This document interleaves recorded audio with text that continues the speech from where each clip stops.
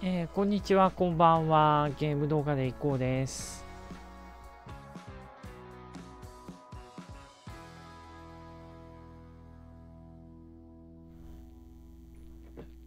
ファイヤープロレスリングワールド、えーライブ配信始めていきたいと思います。えー今回はアントニオ猪木が、えー70年代を中心後半を中心に、えー行いました一種格闘技戦、えーこちらの猪木と対戦者を集めたリーグ戦です、えー SWA、えーいわゆる UWF に近いルールですね、えーピンホールなしのルールで、えー10カウントノックアウトギブアップレフリーストップのみの決着で争います、えー1ラウンド5分。5ラウンド制で行います。今のとこまだ引き分けがなくえトップはウィリー・ウィリアムスですね。え9戦やってるってことか。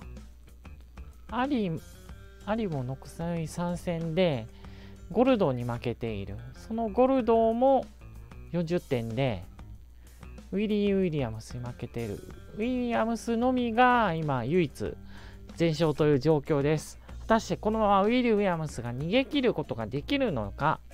というのが今回の特,、えー特徴になっております。ぜひご覧ください。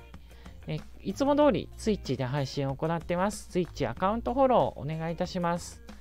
Please my Twitch my アカウントフォロー Please えーこの動画は2日後ですので19日21時から YouTube でプレミア公開でアップロードいたします。ぜひ見てください。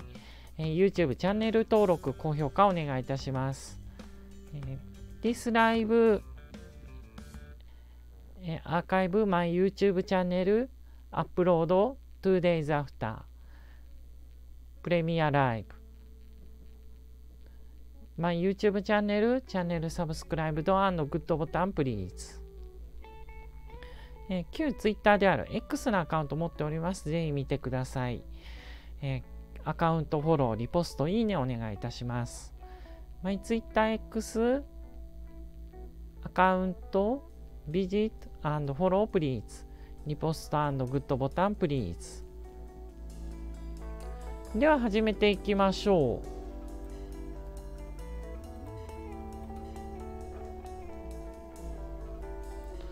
幸いデータ消えなくてよかったです。えールスカとチャップチャップウェ、えーチャック・ウェップナーの、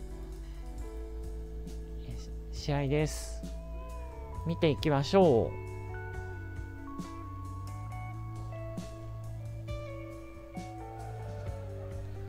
さあ、入場です。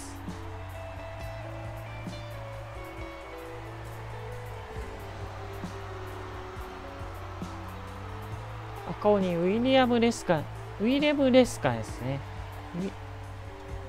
ルスカです。ルスカも40点だったと思う。上位につけております。まだちょっとだけチャンスは残っています。それに対して対戦するのはボクサーチャック・エプナーです。アニオス・ブレンブリーダー？ビヨン、ビヨンネブリーダー？ドイツだっけ？それミルデンバーガーかな？さあ、レフェリーはなんとアントニオ猪木本人が裁きます。さあ、しえー、宮沢勝負するルスカ。それに対してボクシングのウェプナー、まさに異種格闘技戦。飛びつき十字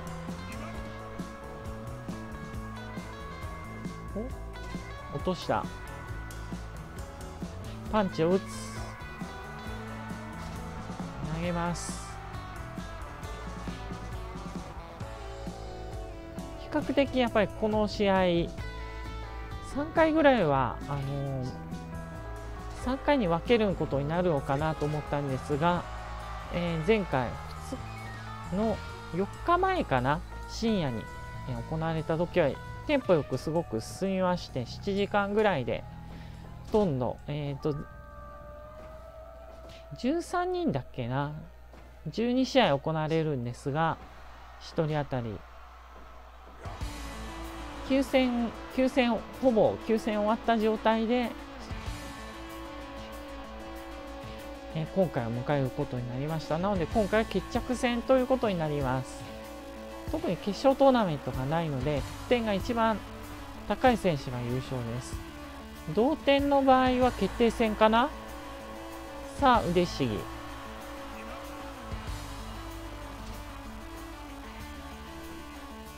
また投げます。柔道殺法。ウィレム・ルスカルスカ。ボクシングスタイルで勝負です。ボクシングで勝負。ウェプナーまたも。そう寝技もつれ込むと完全にルスカペースですからね。ウェプナーとにかくあのパンチで勝負したい。こういうふうに吹っ飛ばしてスタンディングに持っていきたいところです。お？倒し。倒しますね。今のところ完全にルスカの受注にはまっている感じがあります。グランドのヘッドロック。リングはワールドプロレスリングの懐かしいリングです。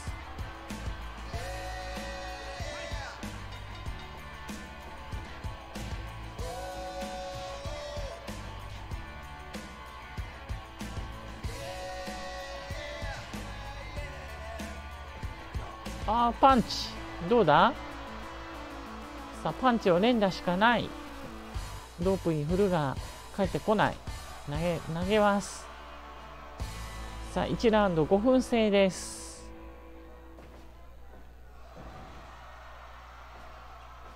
3分短くするとやっぱりボクサーとかに有利ですし長くすると長くしたり1ラウンド制にするとこういう柔道選手に有利ではありますね。ああとこれフリーノックランド制です。おっと嬉しい。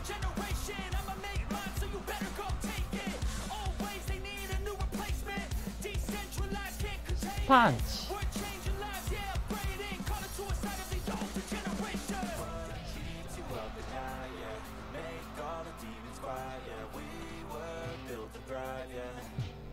パンチ攻めます。ウェップナーもようやく反撃か。タフですねルスカ。おっとこれはデスバレーウォーだそして嬉しぎ行こう。デスバレーウォーなんですね。ちょっとウェップナーにも疲れが見え始めている。あんまり腕しい食うと腕がブラッと下がっちゃいますからね。おっとルスカも疲れてるぞ。蹴ります。ほうボクシングのみですからねウェプナーは。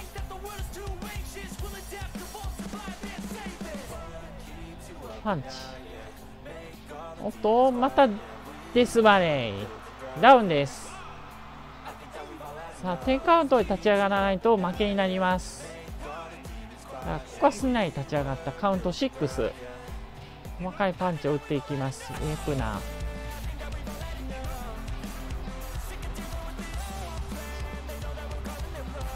またデスバレーだ。これはきつい。そして腕ひしぎに行こう。だがゴングに救われました。第3ラウンドです。おっとボストンクラブ。どうだ？動けないぞ。ウェプナー。虫の息なのか。エルボーです。えとにかくルスカー倒したいですね。おっとフラフラだ。ウェプナー。さあ、倒して、あと、この時点ダウンですね。どうだ？立ち上がれるか？これやばいかもね。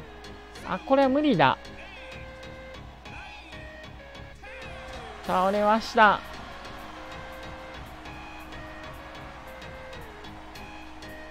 ダメージが深かったか。ウェプナー、ルスカが KO 勝利です。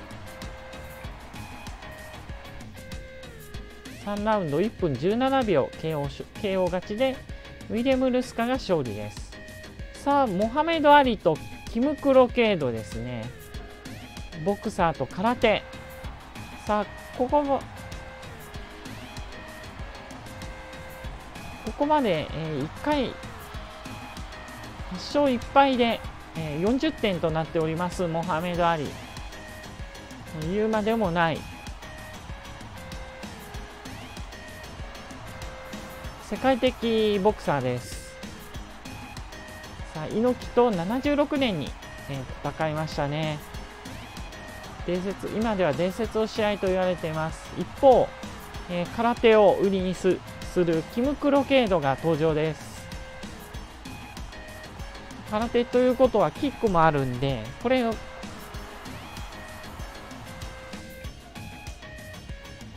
これが兄にどう影響するか。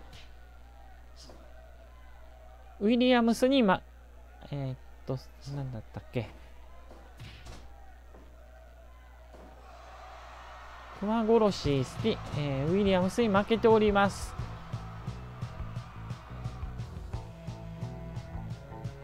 モハメド・アリキム・ケイドもクロケイドも空手なので警戒しないといけません。さあ静かな立ち上がりお互い様子を見ているのかパンチが。止めか？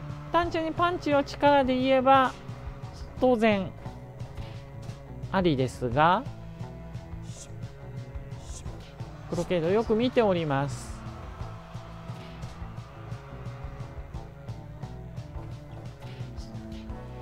パンチ当たっていますね。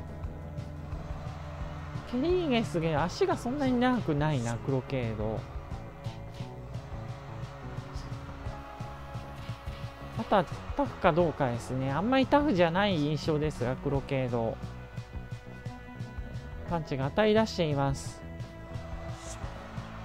蹴りもあんまり決まってないですね。次第にアリペースになっているか。えー、軽やかなフットワーク。まさに蝶のような舞。それがモハメド・アリ。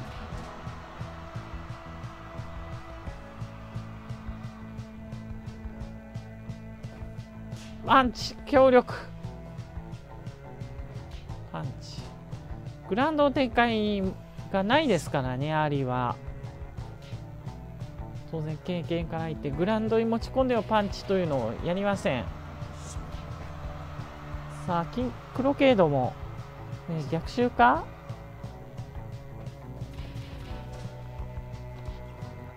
まともにパンチを食ってしまってますねクロケード。ピンチです。崩れ落ちる。おっとストッピングを挟みました。一種格闘技戦。ん？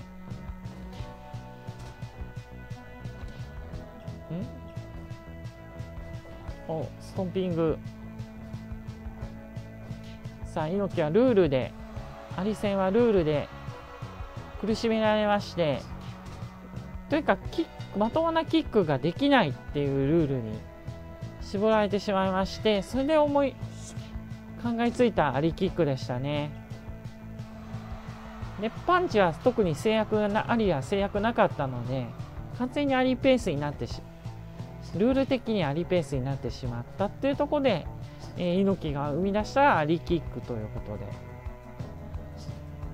かなりあの試合後アリのえー、っとすねの辺りが跳ねてたらしいですね。そんだけアリにもダメージのある一種格闘技戦だったということになります。15ラウンド戦い抜きました。当時はやっぱり牽制合戦にしか見えずにつまんない凡戦と見られてたんですが後になってこれが評価されてまた、えー、猪木とアリの間に友情ができて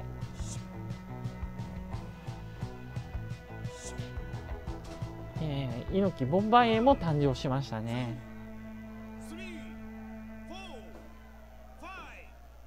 あリ・ボンバイエから。で合ってんのかな？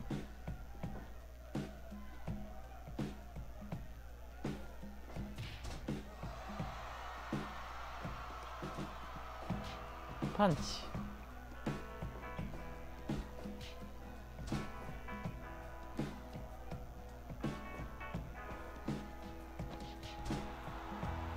さあダウンです。ちょっとやっぱり押されてますねクロケード。立ち上がれるか。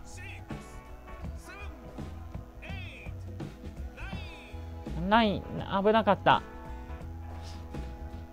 おっと連続パンチ。厳しい。さあ何回でもダウンは許されますがうん厳しいか。10カウント。2ラウンド4分2秒。モハメド・アリ貫禄の勝利です。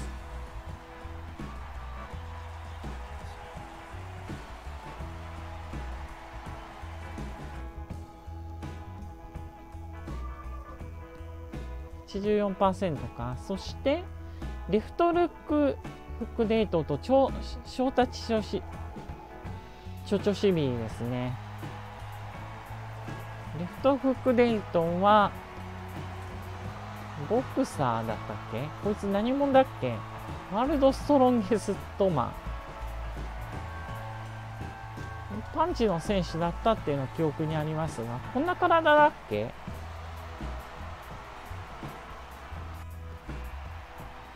一方ロシアのサンボです。ソビエトからやってきました。ミュンヘン五輪、えー、柔道金で金メダリストでもあります。ミュンヘンって鶴田も上がったオリンピックですね。チョチョシビリ。唯一異種格闘技戦で猪木を、えー、破っております。唯一の敗戦ですね猪木の。初の新日東京ドームでした。1989年4月23日、え重心ライガーもデビューしてますねその日には。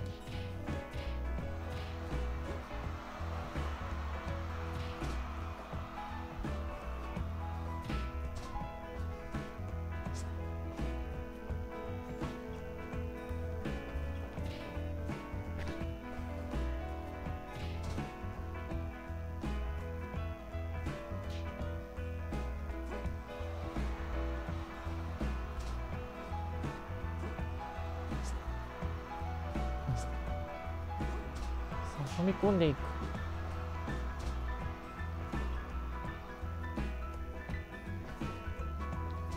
えー、っと対照的な動きが見られそうで面白いです。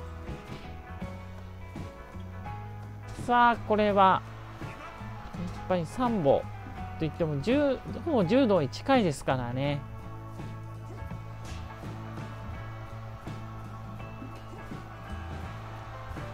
唾液と寝技の対戦と言えるんじゃないでしょうか。お蹴りを入れます。膝を入れます。キックボクサーかな？レフトルフックデイトンで倒します。そうですね裏投げを炸裂させますからね。投げが投げも使います。ちょちょしびり。飛びつき腕十字。裏投げを連発でこの猪木が KO されました。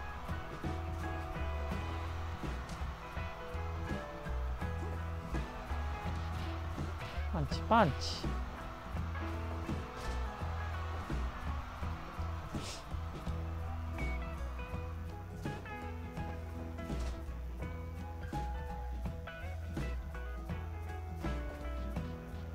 パンチパンチ。キリンを打ちます。キックボクサーですね。飛びつき腕十字。第1ラウンド終了です。その第2ラウンド。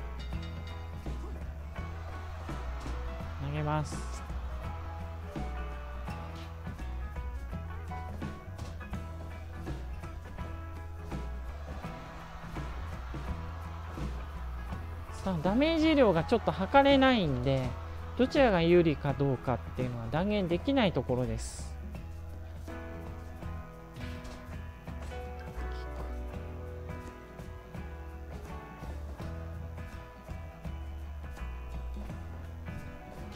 おっとハンマーをレーダーハンマーみたいな感じでたたきつけます腕を。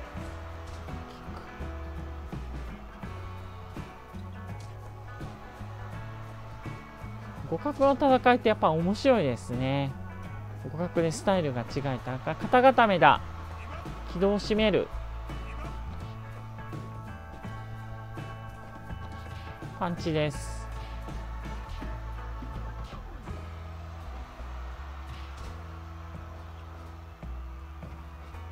そしてバックドロップ。だから立ち上がったのはクロケード。2発キックを打ちます。空振り。ああすごい。ダウンです。ちょちょしびり。いやラッシュがすごいですねクロケードは。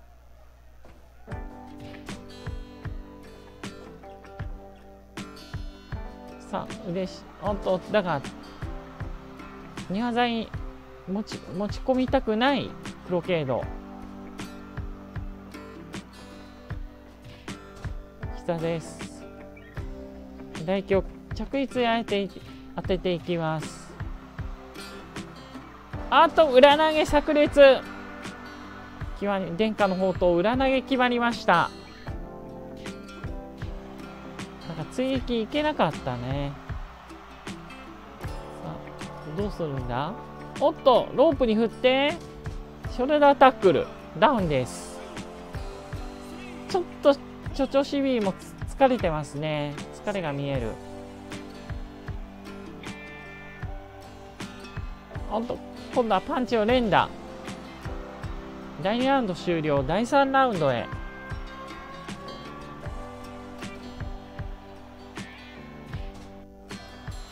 どうするんだ？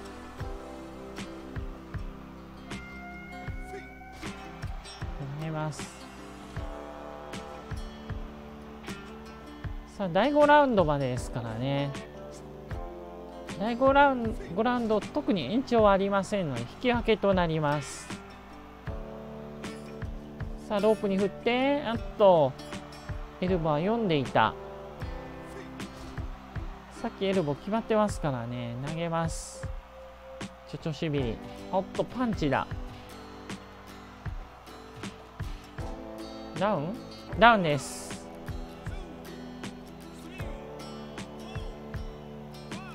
さあ立ち上がれるか。ちょっと危ないぞこれ。あと10カウント。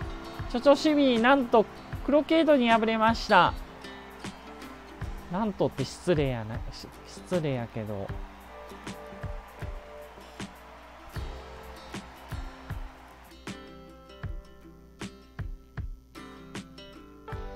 レフトクレイトがごめん。デイトン40点あるんだな。それ強いわ、なかなか。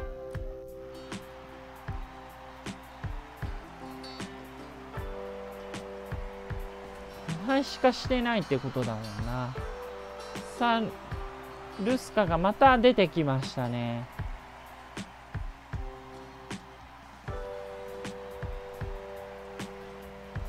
赤鬼、ウィリアム・ルスカ。さあ、対戦相手は誰だ？ん？これは？ボクサー？あ、これウィリー・ウィリアムズだ。来たね。今、全勝です。さあ、ルスカは、これは、ウィリアムスを何としても倒さねばなりません。非常に重要な一戦となります。ウィリアムスはこれ勝ったらもう、ね、10、11連勝ってこと ?10 連勝ですね。10連勝なんで、優勝に向けて一気に前進します。まあ、ウィリアムスタフですからね。唯一の全勝じゃない。えっ、ー、と、唯一の全勝、ウィリー・ウィリアムス。グランド展開持っていきたいルスカ。新空手。の強豪ウィニー・ウィリアムス。猪木とはね激しい乱戦の末引き分けに持ち込みました。大仁田ともやってるんだっけ、まあ、ルスカもだったと思うけど。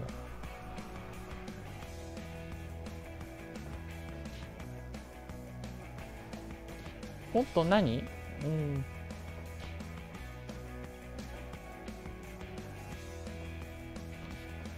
腕しぎうまい。これはうまい。腕を狙っていけばまあパンチ基本パンチですかね。パンチとキックなんで。腕を攻めるっていうのは基本中の基本だと思います。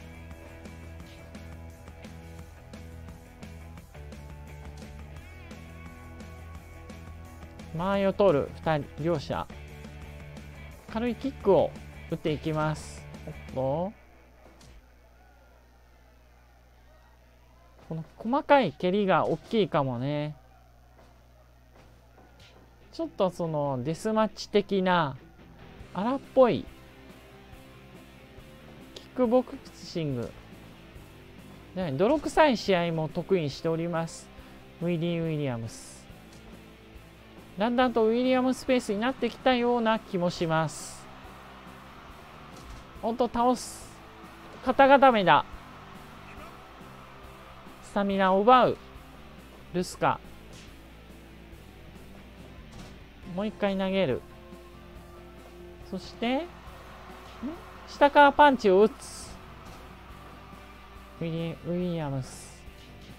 パンチだ。連打。唾液のまもなく第1ラウンド終了です。さあ第2ラウンドになります。おっとあっとアームロックだ。これは？腕は大丈夫かウィリアムス。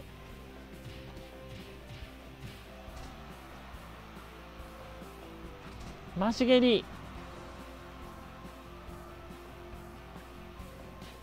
パンチを連打。あっと4点ポジションの膝ですね。こんなもんやるんだ。さあ出血もありえますからねこれは。さあグランドのヘッドロック。さあ世紀の一戦。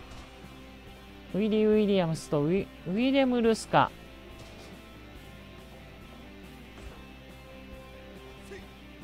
飛びつき腕十字。だからロープブレイク。おっと。投げます。再び腕ひしぎ。腕を狙って完全に腕一本にし狙い定めてますね。ルスカは。まあルスカに勝ってほしいですね。面白いから面白くなるんで。ロープブレイク。さあ倒しまして肩固め。またスタミナを奪いに行く。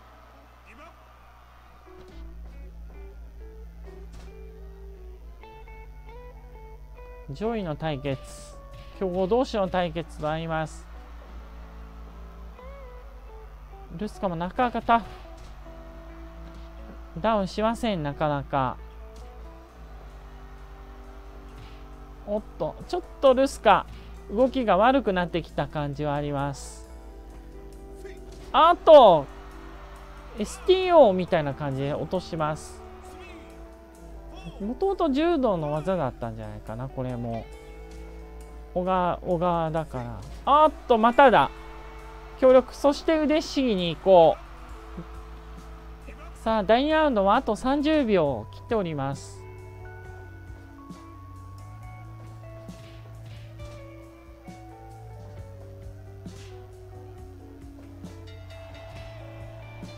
さあ第3ラウンド突入です。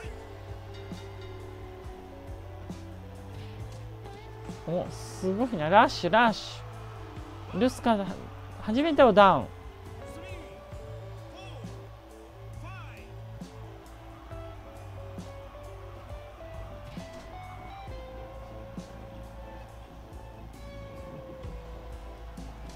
タックルから。おっと逆にパンチを食らう。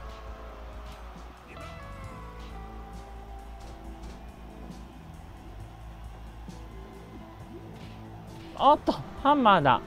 ダウンです。ウィリアムス。どうだ？倒せ倒れるか？ちょっと疲れがなんか6へ立ち上がります。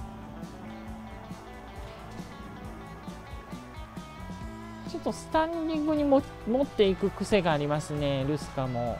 ルスカダウン。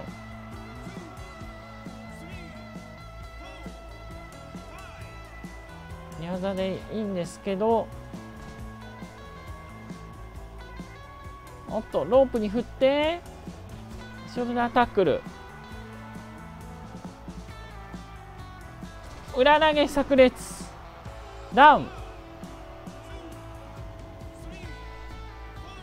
これは立てそうかな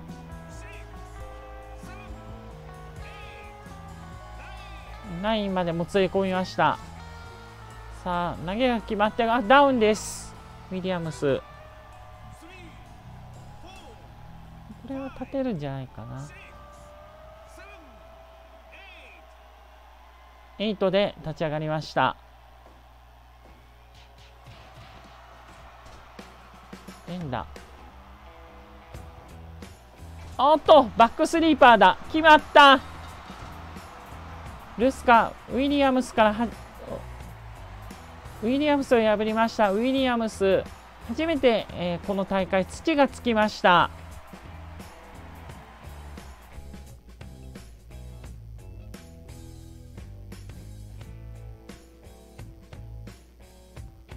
さあ、兄と後さ、えー、小錦の兄、秋佐野への一戦です。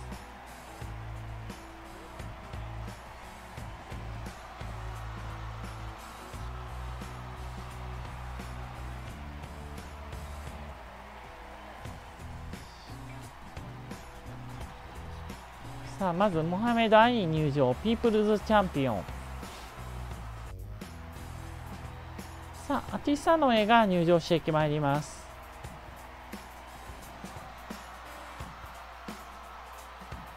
ファイのお兄ちゃん。ファイのお兄ちゃんっていうのもな。あのあの、アティサノエ。さあ、医師格闘技戦、猪木にあっけなくやられてしまいましたが、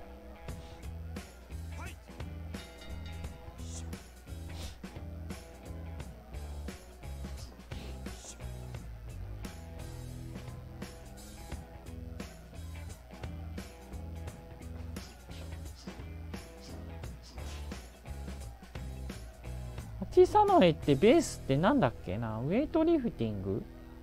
あそうか。ハワイの相撲か、まあ、格闘技の中で一番最強の競技はって言ったら相撲を上げる人がすごい多いだとは思いますが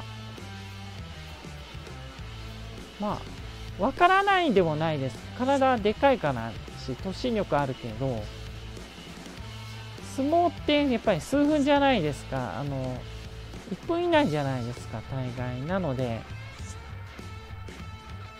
スタミナ完全にスタミナを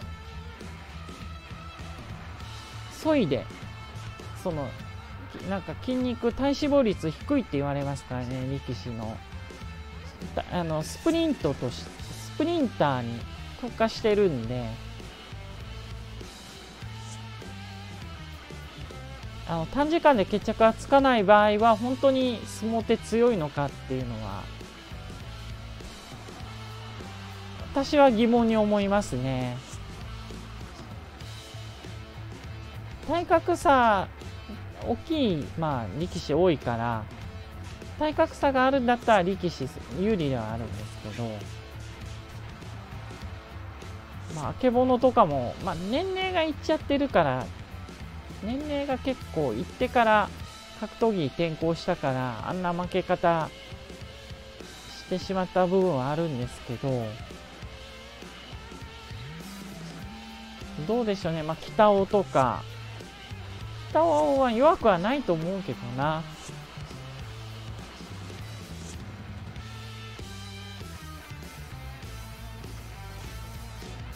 千代の富士だったら強いうんでも千代の富士だって結局やっぱり短時間に特化してるわけですからね。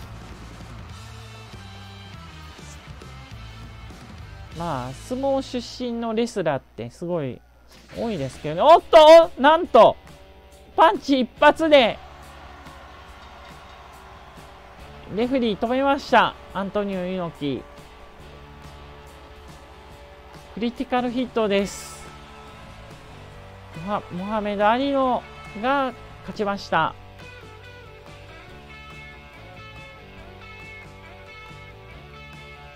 さあミスター X レオン・スピンクス。さあ正体がよく分かってないミスター X なんかいろんな説あるみたいですけどね。覆面の ミスター黒歴史。覆面の、えー、空手家でいいのかな？ミスター X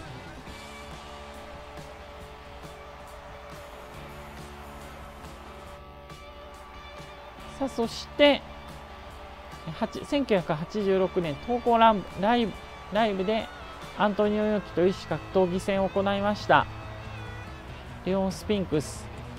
猪木の衰えが入越となってあのどんな会に優先に勝った？前田の方がなんか新格闘王として注目され至りましたね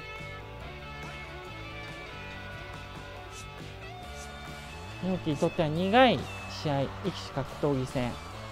勝ったは勝ったんですけど、苦い一種格闘技戦に、内容が良くなかったわ苦い格闘技戦になってしまいました。おお互いパンチ打って、もう正面からや行きますね。短時短時間決着なのか、両方とも。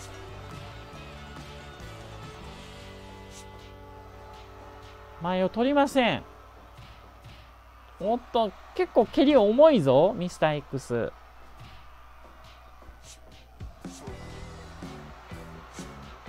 見てる方としてはこういう試合楽しいですけどね。おっと、エルボー。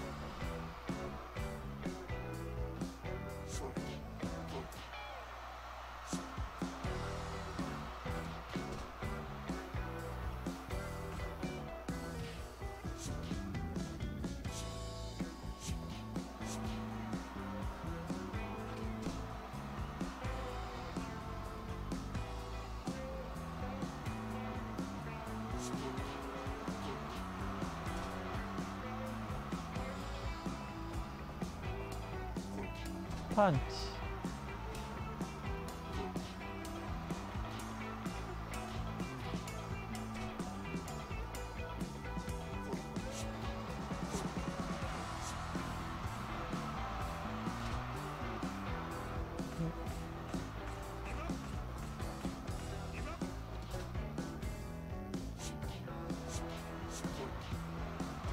あしげです。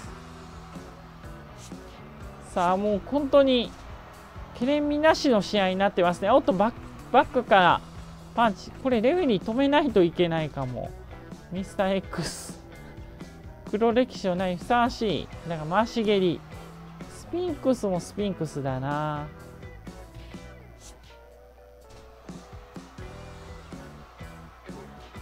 おっとミスター X 攻めております。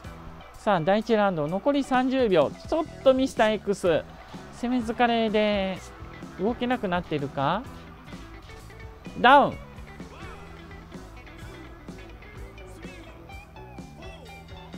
おっとこれはゴーグに救われた。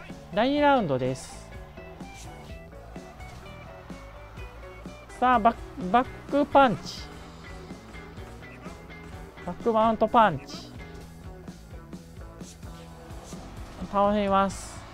またはバック、これ、ちょっと、止めないとダメですよ、これは。お回し蹴り。意外とタフなミスター X。パンチ一発。ダウン。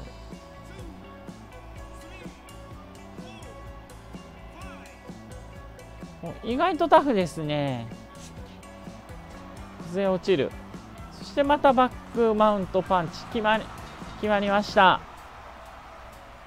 ネオスピンクスがミスター X を破りました。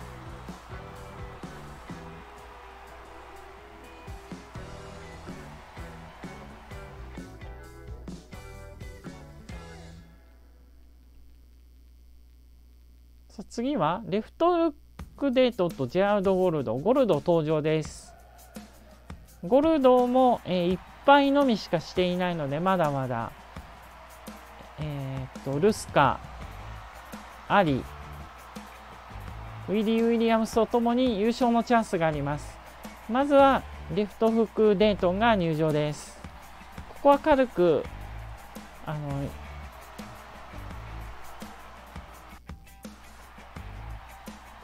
ゴルドンは一周したいでしょう。ゴルドンもあの猪木とやっております。95年だっけな。き分けだったか猪木が勝ってるか。オランダは喧嘩屋となります。ゴルド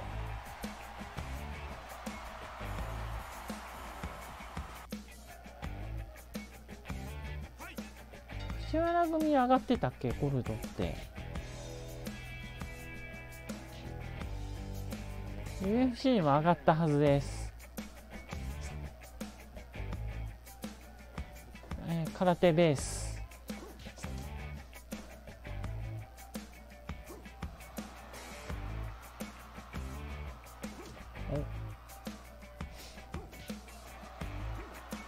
前を保ちながら打っていきます。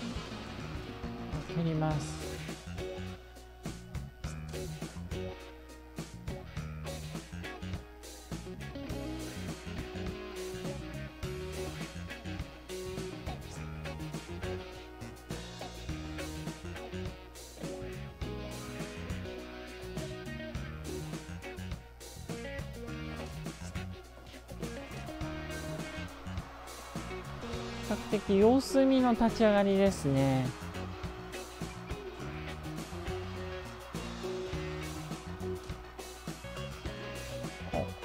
今一発有効打当たりました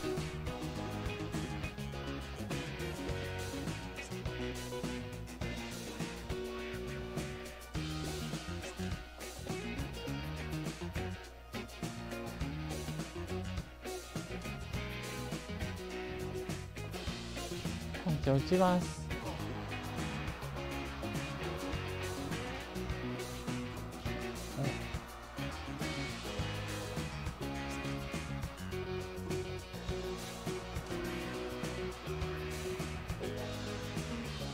さあボクサーはやっぱりボクサーとかキックボクサーは足足の使い方が重要になります。とにかく動いて。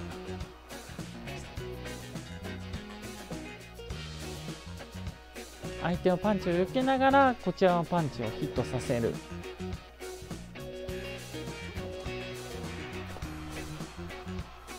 両方とも蹴りもありますんでね。ゴルドは関節もあるんじゃなかったかな。極真空手だっけゴルドって。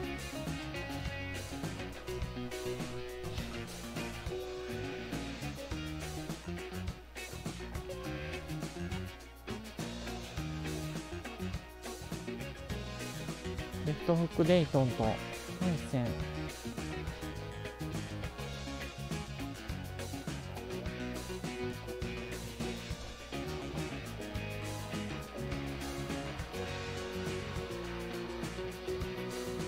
さあ比較的真ん中であのついた試合を運んでいるゴルドデイトなんか空振りが目立つようになってきました。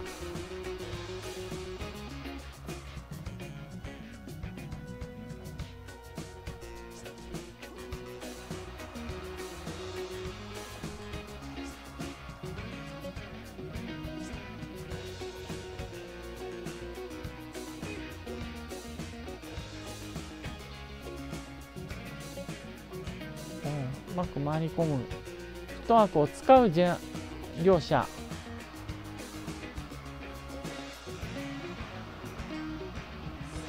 特にやっぱりスタミナの温ゾがゴルドを測れてるのか。アウトボクシングスタイルで戦ってる感じはあります。ジアルド・ゴルド。さあデデートはせデイトも踏み込んではいるんですが。ゴルドがうまく避けてますね。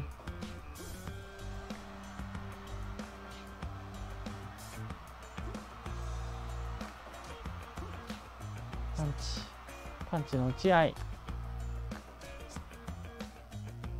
まだあのこの試合どちらもダウン。ダウンを喫していません。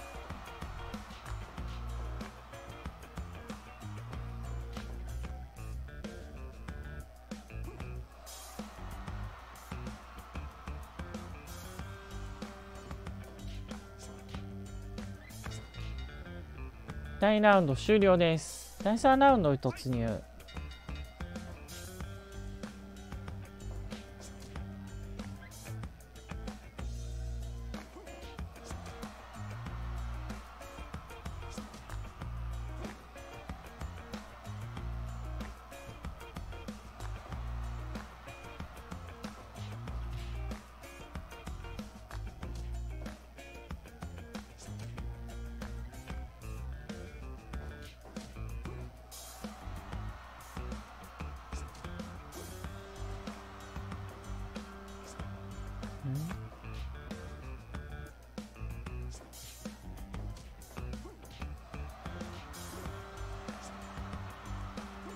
テイトやっぱりもうちょっとリーチがあればな。リーチ不足がちょっとたたってる感はあります。足はで足を使ってもいいですけどねキックを。パンチで言えばゴルドの方がリーチが長いので当たらないですね。さ2分半。これ5ラウンドなんで半分を経過してますよ。形成合戦みたいに思われてないかな。ただ有効打としてパンチ当てているのはゴルドの方です。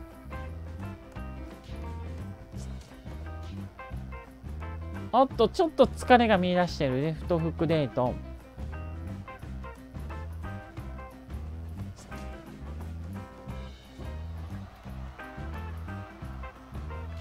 5分1ラウンドでの5ラウンド制で行われます。この異種格闘技戦。おっとエルボーだ。ダウンとはなりません。おキック。ちょっと動きが見出してきたか？ちょっと両方との足が止まりだしてるんでパンチが当たり出してる感じはありますね。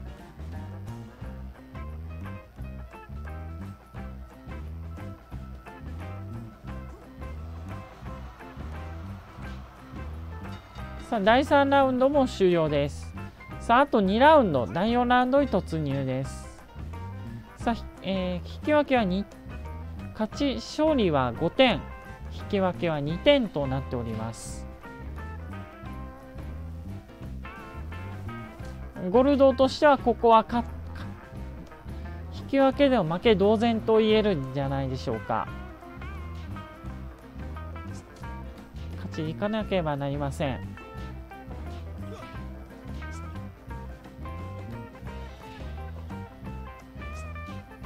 っと両方とも足が止まったのかパンチがパンチキックが与え出します。当然よりスタミナを消耗するという形になりますね。回し蹴り。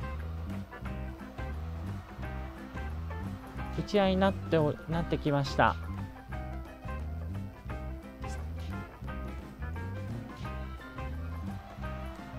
からちょっとゴルドも空振りが多くなっている。エルボー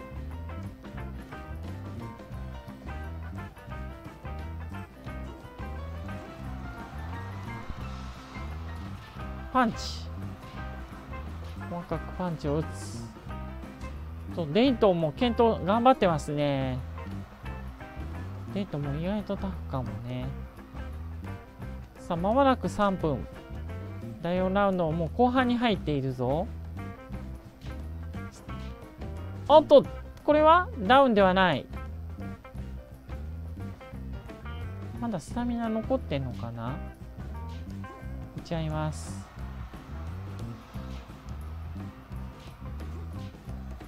おっと崩れる。だがまだダウンとは見なされない。ちょっとゴルドペースになってきたかな？崩れ落ちる。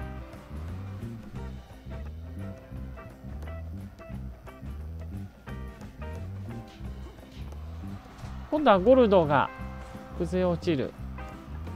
蹴りを一発入れます。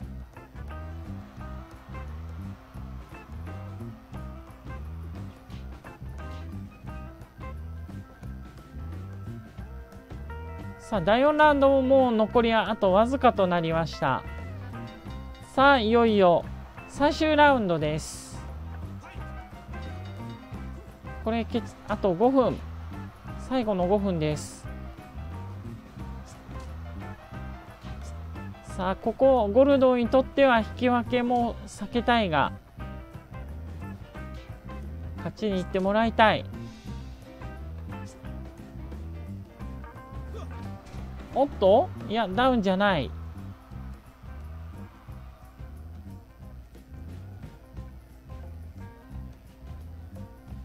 慎重ですね。相も変わらず。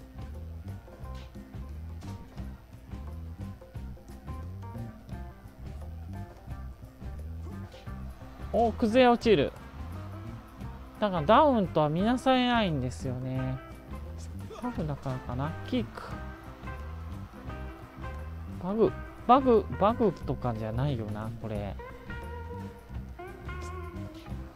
伏せ落ちる。完全ゴールドペースではあるんですが。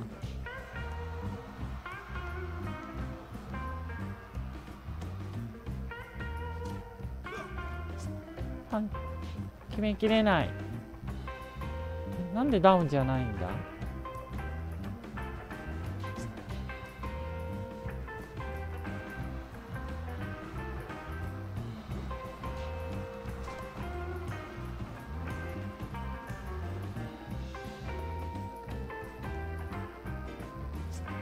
パンチは当たってるんですが。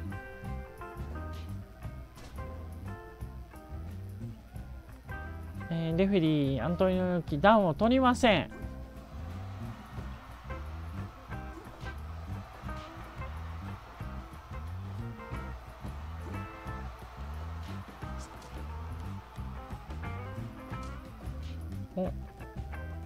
さあ残り1分となってしまいました。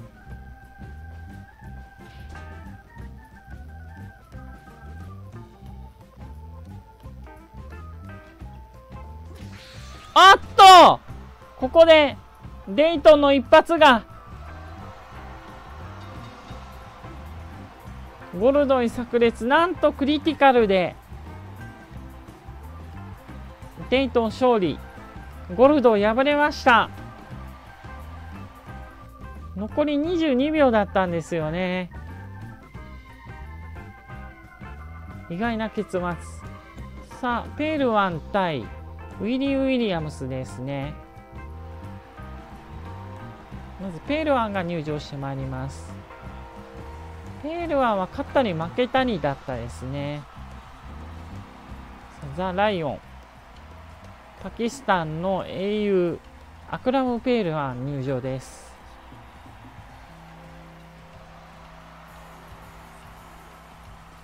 そしてえ極真のじゃあ熊殺しウィリー・ウィリアムス。さあ、まあ、ここは前回まあルスカに深く、えー、敗れたウィリアムスですがここはペールはしっかり勝っておきたいところ。ペールワンはあのー、あれですね猪木がおるぞって言って脱臼させましたね。これで、えー、選手生命を叩いてしまいました。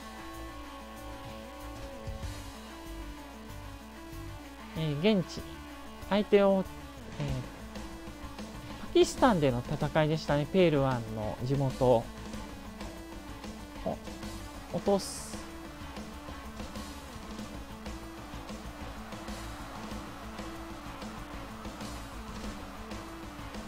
どうする？あ、叩きつける。総合格闘技の元祖みたいな戦い方ですね。ボディスラム。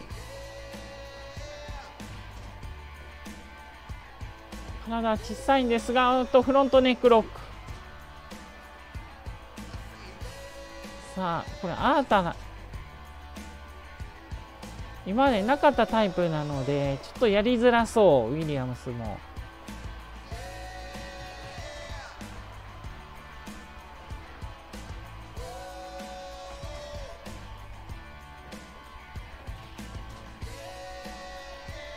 スリングベースですからね。おっとさあ、スタミナ落としにかかる。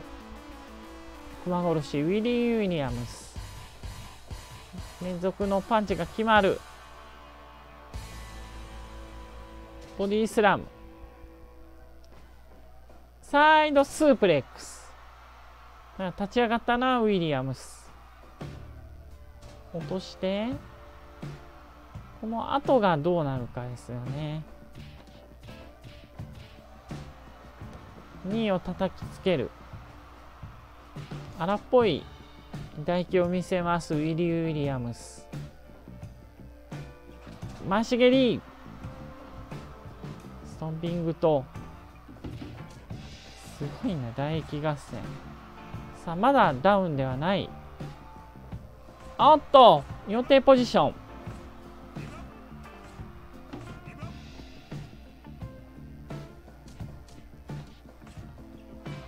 かと落としダウン。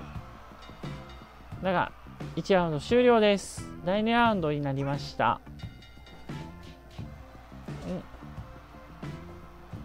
ウィリアムスペースになってます。ペールはダウン。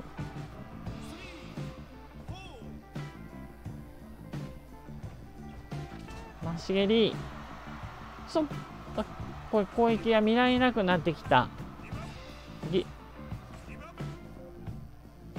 ペールはちょっと攻撃できなくなってきましたね。かかと落とし。ペールはダウン。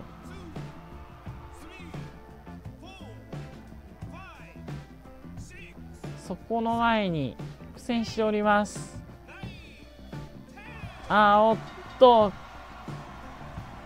立ち上がれませんペールワンウィリー・ウィリアムスがアクラムムペールワンを破りました。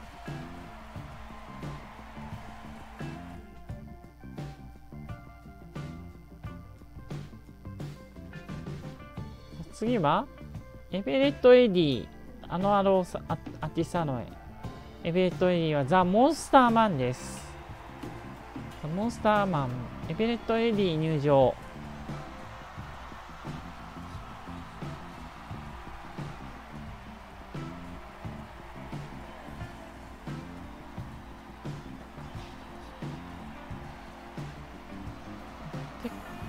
となんか不思議な動きをする。猪木戦では不思議な動きをして翻弄された選手でした。さあ小錦の兄あのあのアッチサノエ入場です。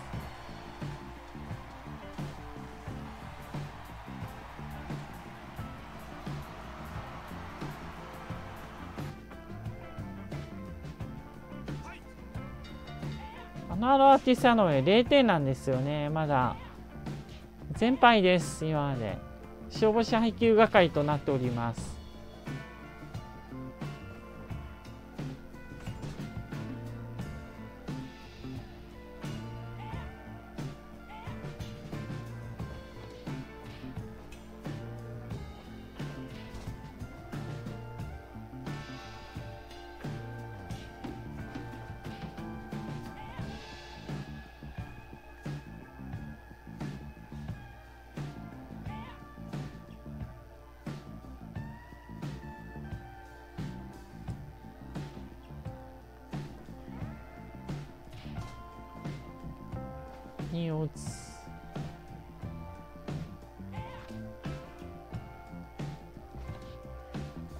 おっとパンチ。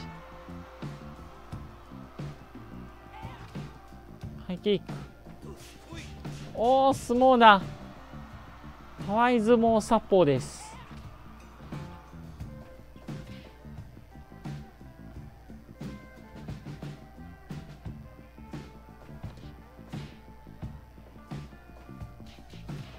パねパンチを連打。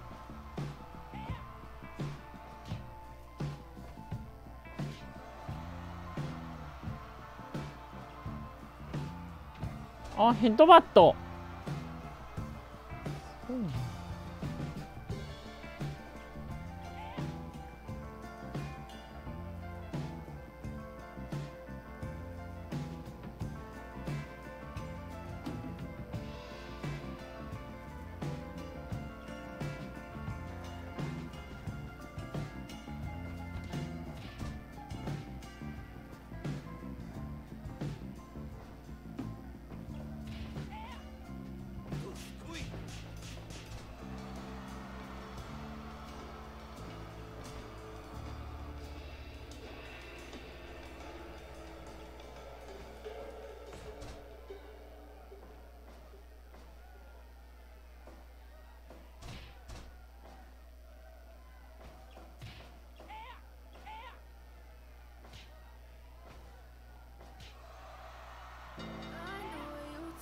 Okay.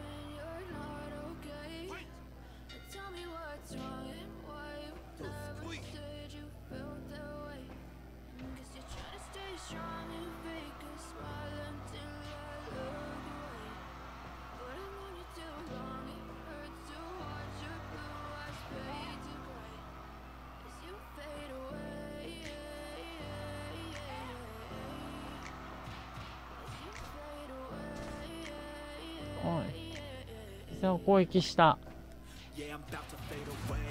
蹴りです。サッカーボールキック。膝も攻撃してますね。巧です。そしてバックパンチ。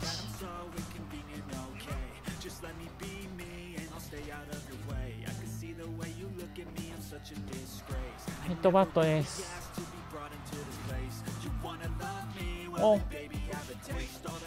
た突っ張り。これはスリーカウントルールありません。小さの絵。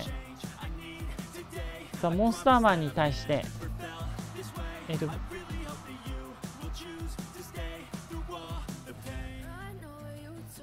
石川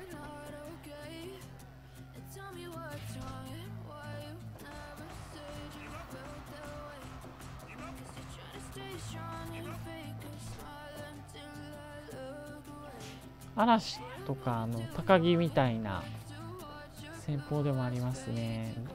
武蔵坊弁慶とか。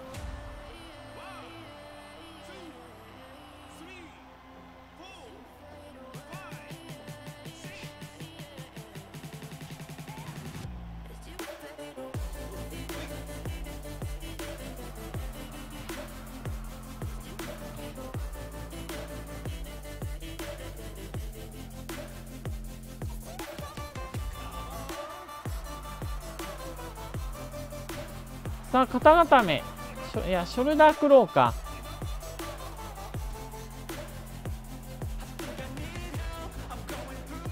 おっとなんとネックハンギングツリー。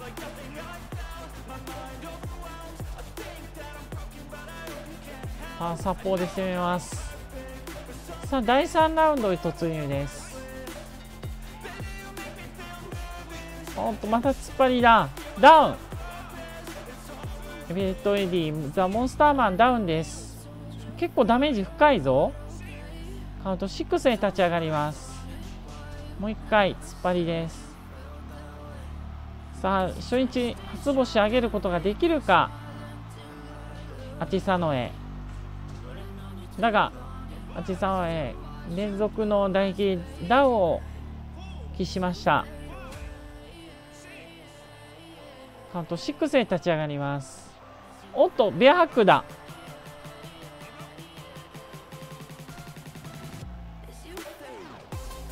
はいキック。そしてサッカーボールキック。ケニーの連打。ダウンです。さあ立ち上がれるか。これは危ないぞ。10カウント。ザ・モンスターマンエベレット・エニーがアティサノエを、えー、10カウント KO で下しました。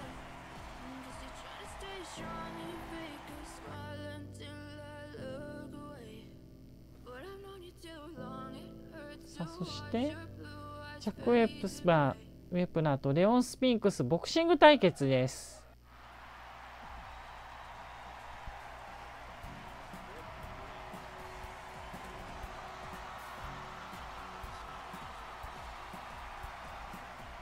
まずウェプナー入場です。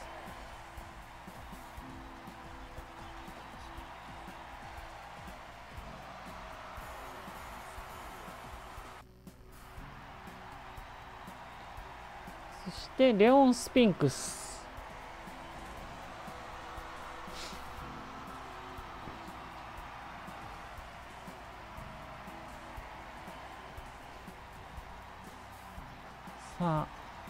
シング同士ですがどういう一戦になるでしょうか？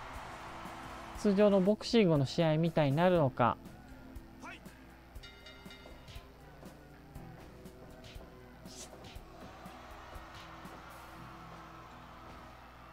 パンチパ一戦。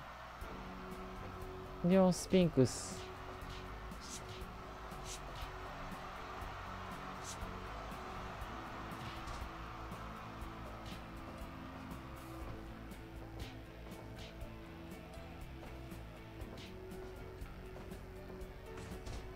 エルボーもありま打つんですねスピンクス。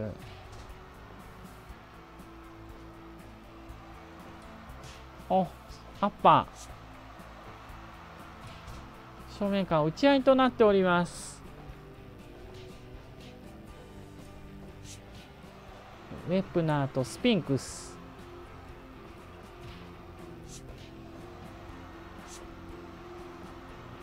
お膝だ。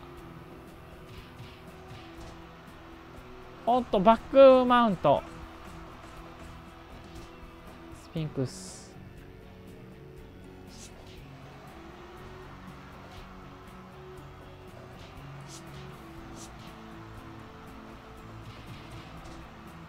そしてさらに。パンチを打ち込む。マウントパンチ。スピンクスペースへ進んでおります。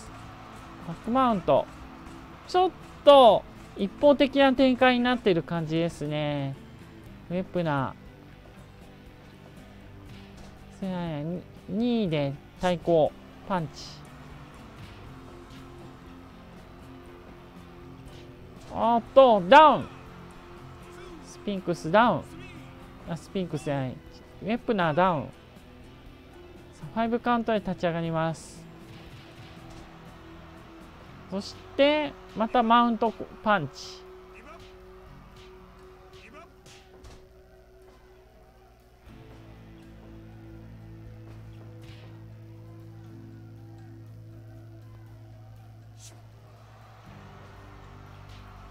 ダウン。あ流血してますね。これ額から。ウェプナーさあ第2ラウンドに突入です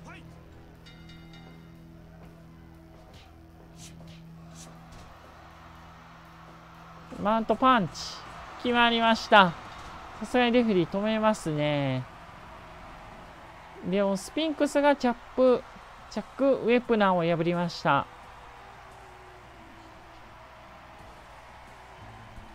えっと、あっさり決着しましたね。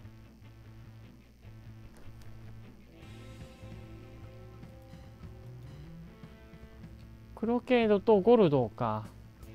さあここまでの試合見ていきましょう。アリとウィリアムスが並んでいる。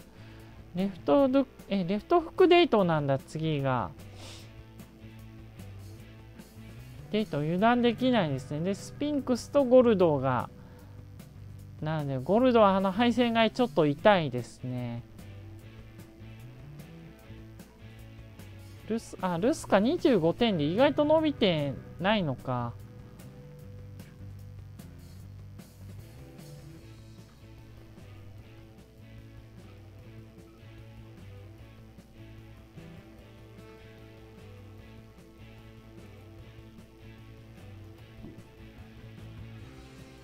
ちょっとシビア。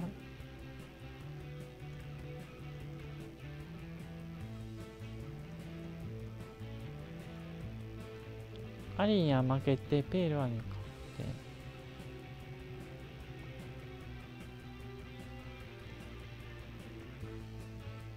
ウィリアムスはルスカには負けてっていう感じであと1試合。デイトンも1試合残ってる。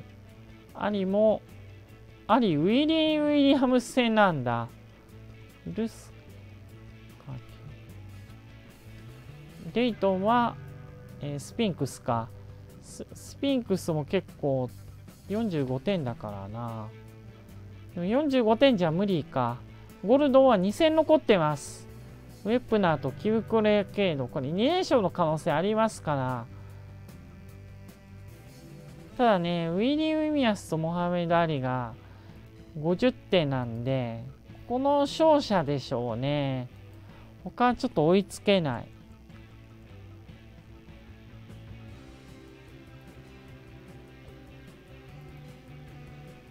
行きましょう。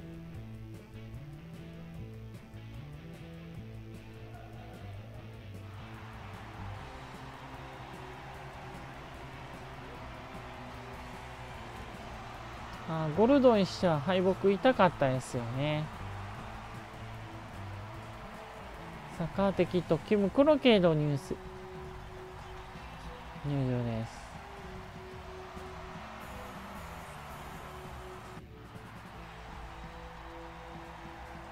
アリとウィリアムスを勝者が優勝っていう感じですかね。さあ、ゴルド入場。あとは消化試合感が出ましたね。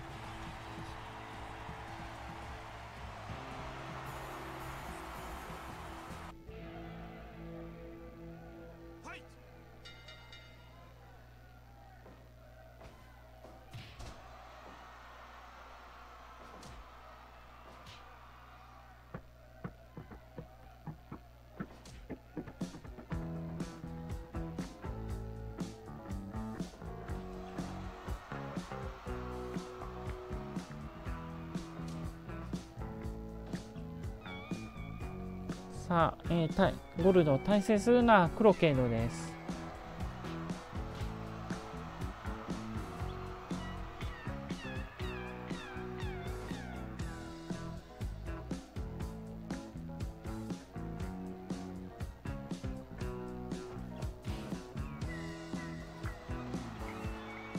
あと7試合ぐらいですね。なので、残り試合は。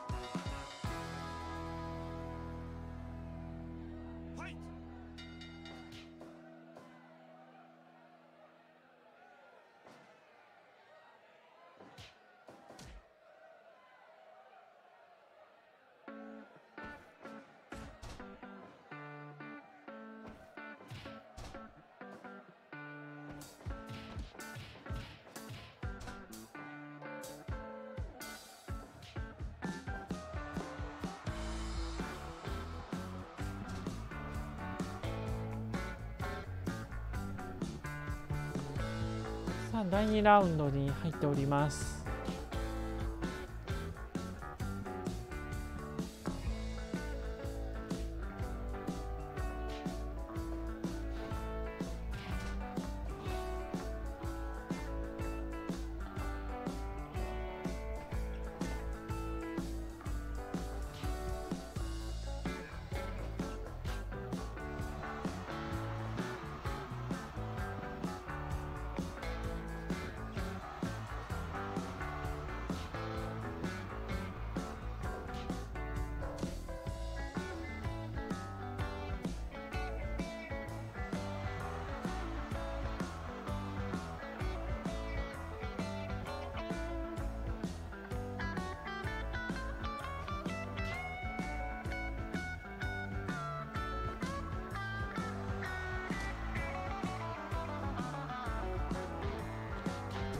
エルボー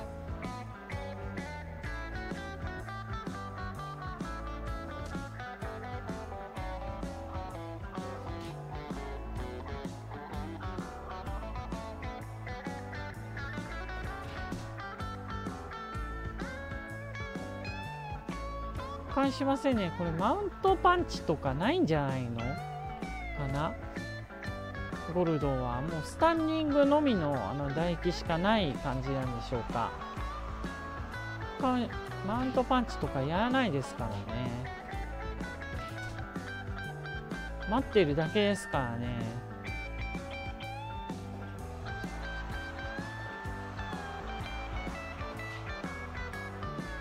グランド技が全くないねこれゴルドは。よくここまであの勝ちの方が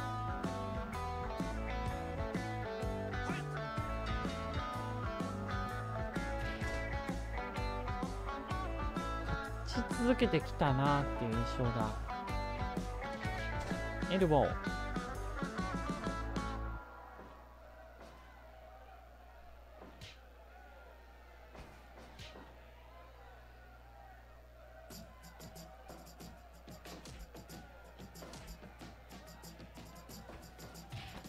お連打。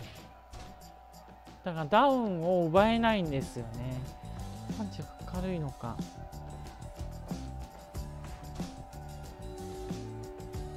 良き微動だにしません。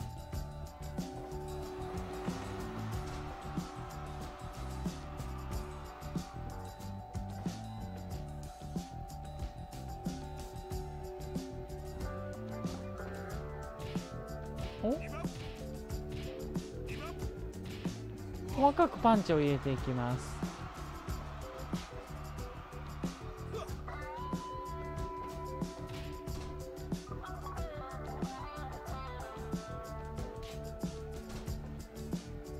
おっと初めて。バックマウント。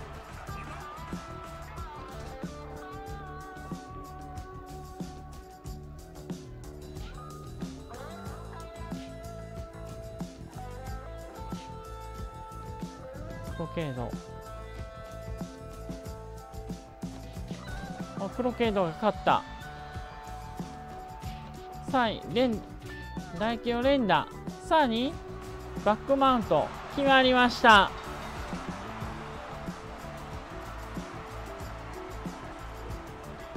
ここはしっかり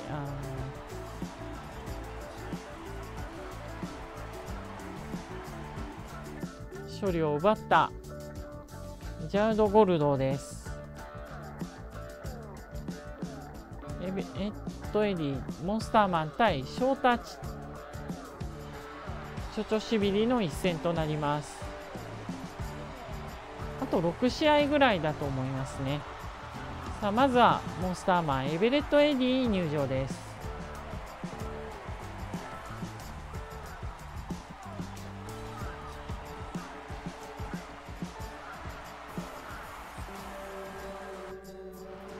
そしてショーターチョチョシビリ。猪木を破ったことロシアのサンボ。ちょちょしびり入場です。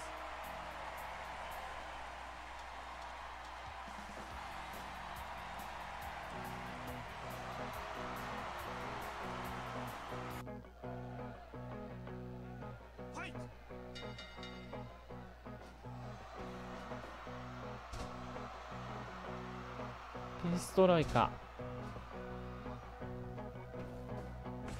ーエルボー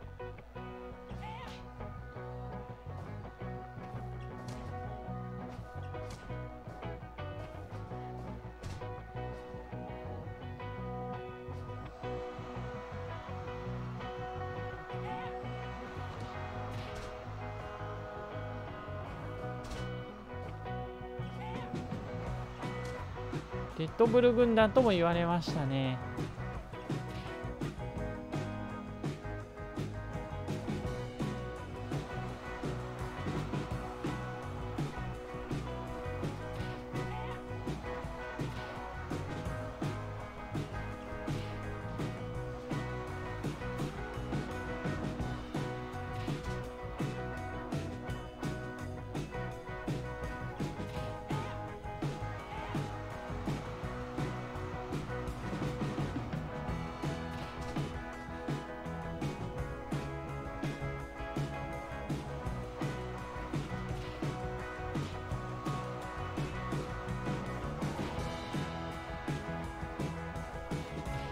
しげり。おっとバックエバックスリーパーです。倒します。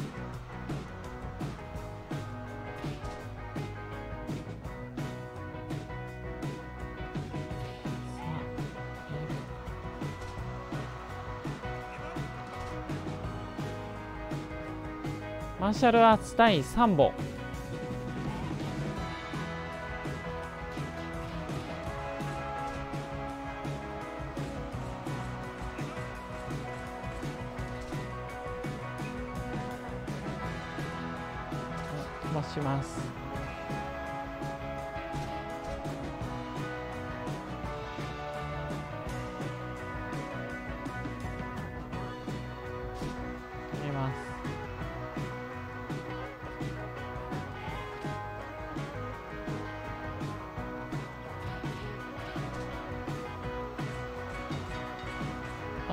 第1ラウンド終了です。第2ラウンドです。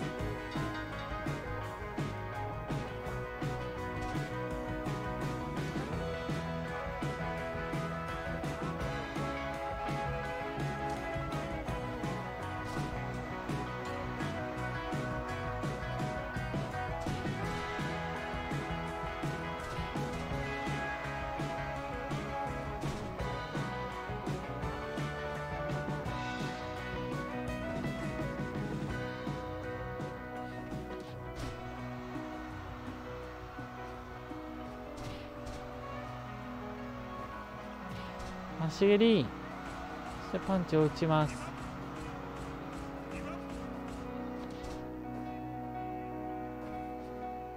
裏投げ炸裂。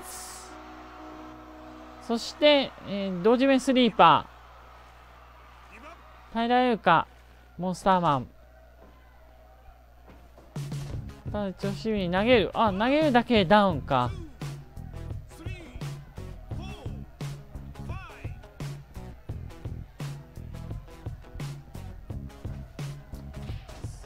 劣勢に立っておりますザ・モンスターマンエベレット・エディ。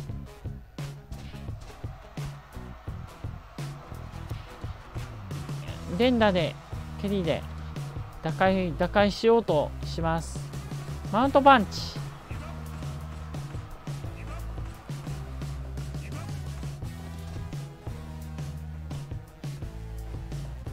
また裏投げ炸裂。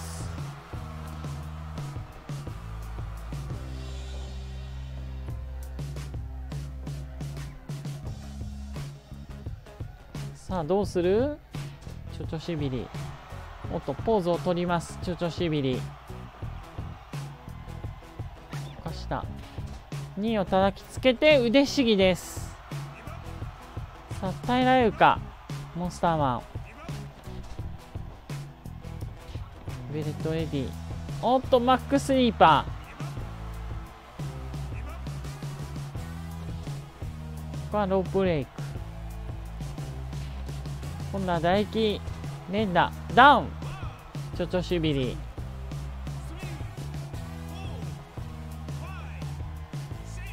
し6へ立ち上がりました。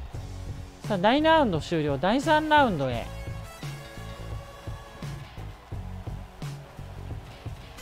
唾液の連打。そしてバックのパンチ。どうだ？一気にダッシュをかけるモンスターマン。だが裏投げ炸裂。ダウンです。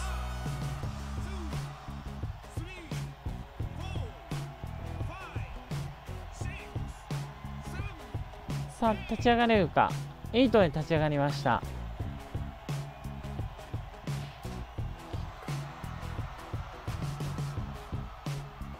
そして腕しぎ決まった。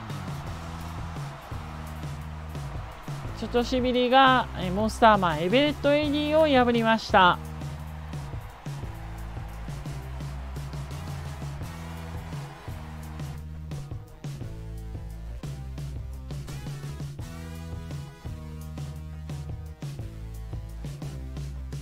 ルスカとえー、っとキムクロケードですね。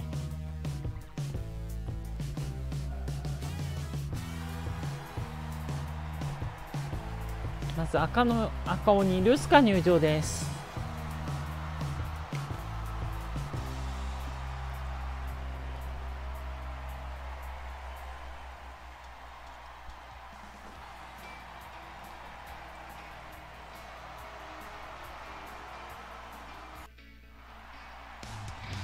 対するはキム・クロケード。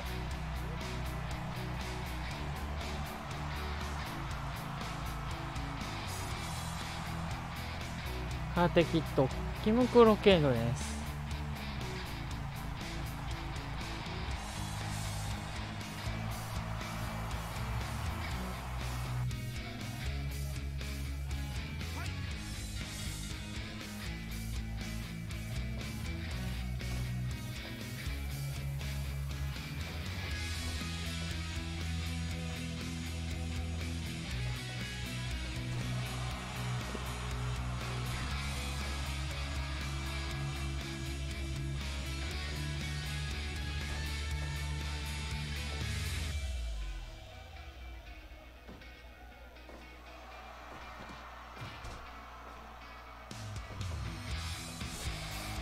ロジメスリーパ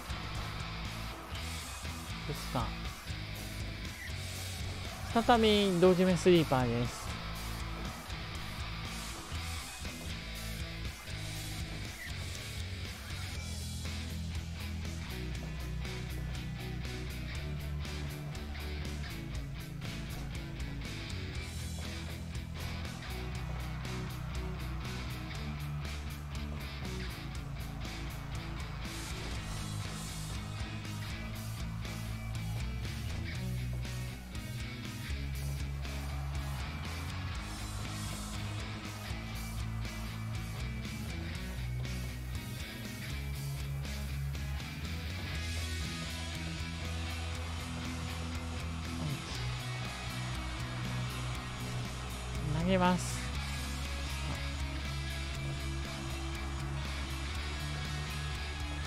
同時目スリーパーです。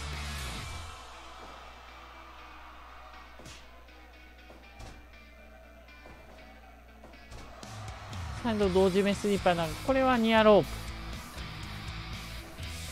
これはフリーノックダウン性フリーロープエスケープとなっております。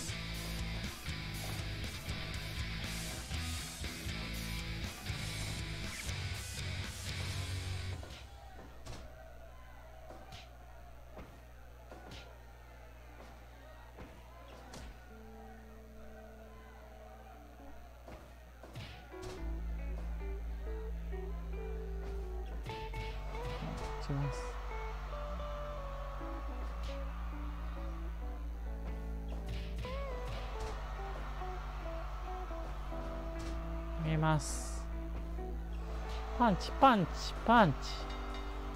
第1ラウンド終了第2ラウンドです。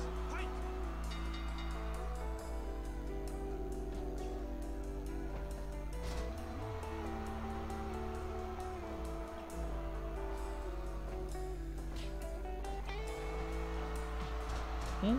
えエンズみたいな感じになりましたね。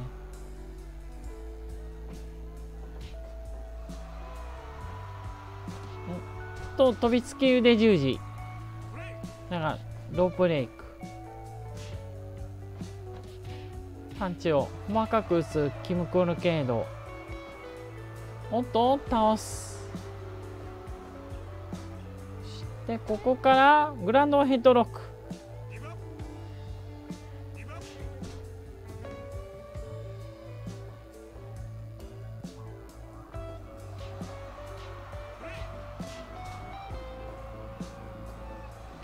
固めでいいのかな？柔道でいうと。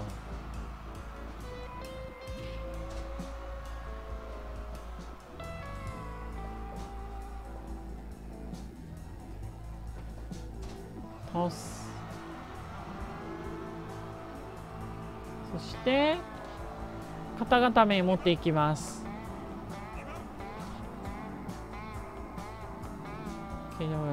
頸動脈を締める技。肩固め。さあステップキック。体のステップキックですね。パンチを打ち込む。おっとバックスリーパーだがこれはロープブレイクです。ニアロープでした。打ち込む。同時目スリーパー。どうだ？耐えられるか？キオクロケード。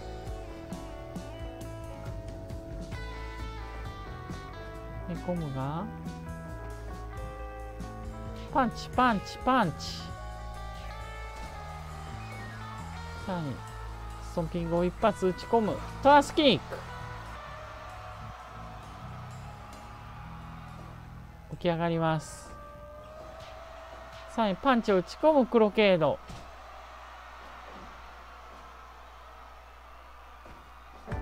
さあもう第2ラウンドあとわずかです。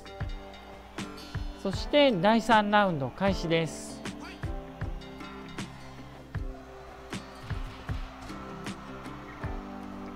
さあこれはマウントパンチ。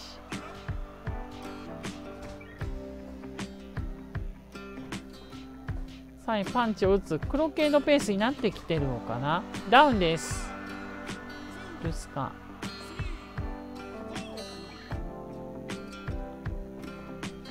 ち上がって同時目スリーパーだ。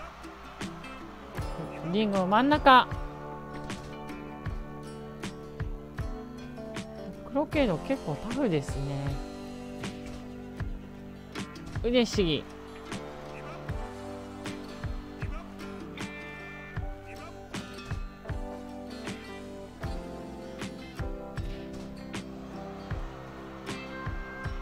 どうする？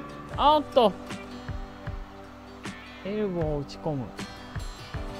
さらにパンチを連打。第3ラウンドにもう2分を経過しております。さあパンチ。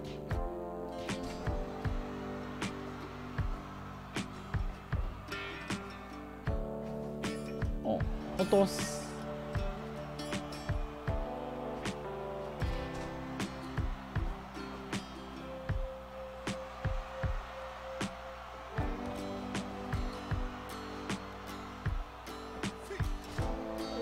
一本背負いもう一回ダウンです。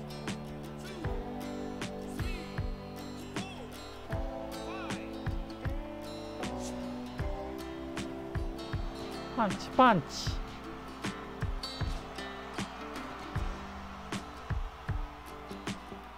そして倒れ込む。今度はルスカダウンちょっとダメージが深いか？カウント6で立ち上がります。またパンチを打ち込む。抱き込んで。おっと裏投げだ。第3ラウンド終了。第4ラウンドです。ダウンではない。ん何かやろうとしている。ドアスキーク。そしてマウントパンチ。どうだ？耐えます。一本背負い。ダウンです。クロケード。カート4で立ち上がる。クロケード。もう一回一本背負い。パンチ。ルスカダウン。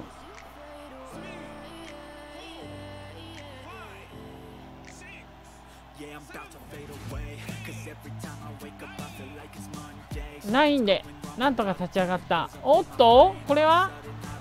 デスバレーボームだ。そして腕しぎ行こう。決まった。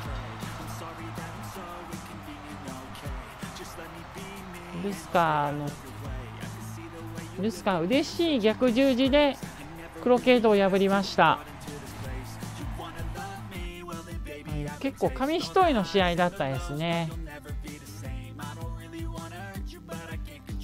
あこの試合はやっちゃダメだ。直線だからな。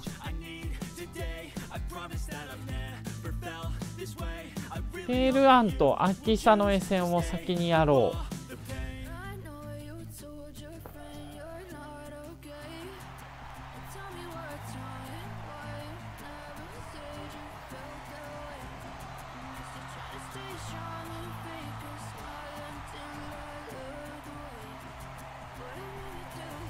ティサの、えー、初星が出るのか。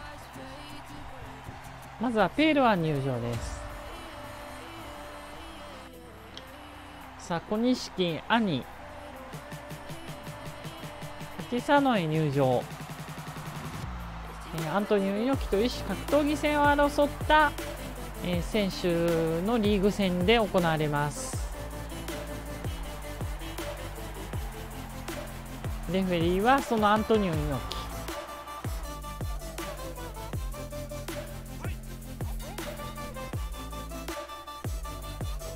おっとフロントネックロック。スタンディングの体勢です。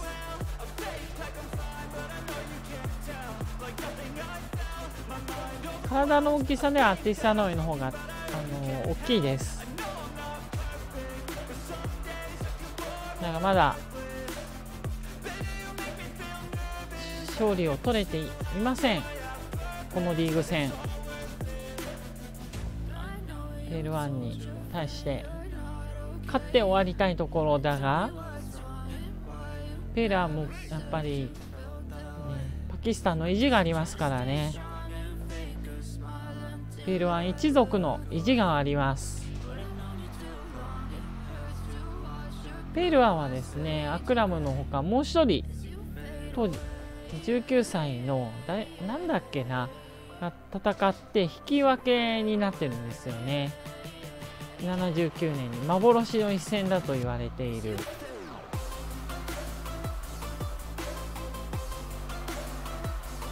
その時もあの現地パキスタンで試合が行われました。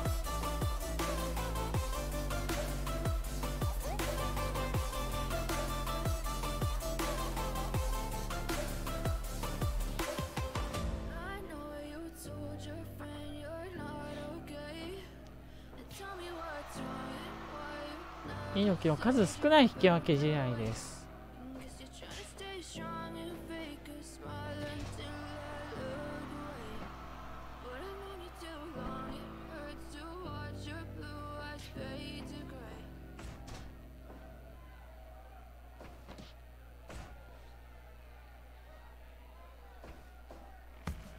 フロントネックロック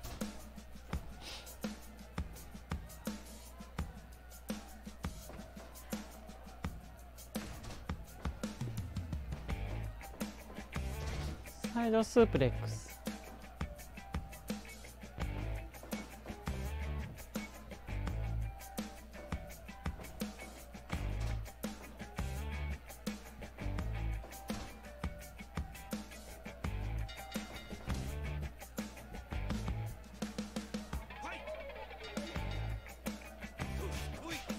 さあそのタックル。りです。フロントネックロックとお互いの得意技で対抗してますね。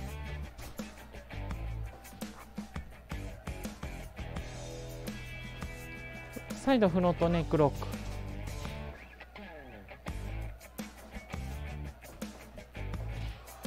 2を叩き込む。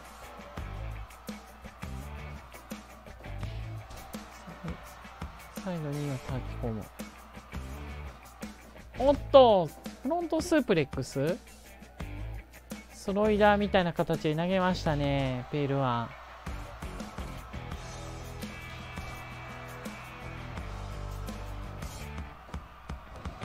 おっとヘッドバット。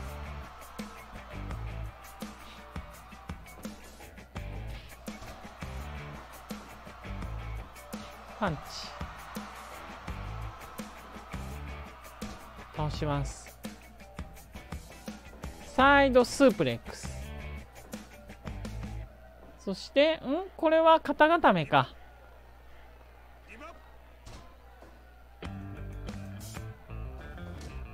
タックル倒しまして。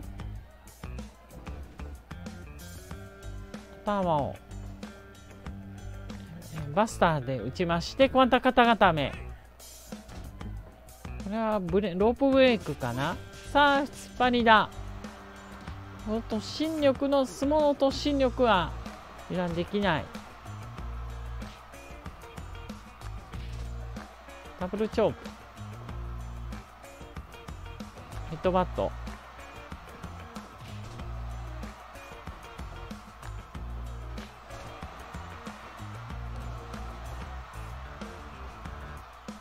っとダブルアームスープレックス。さあグランドヘッドロックに移行です。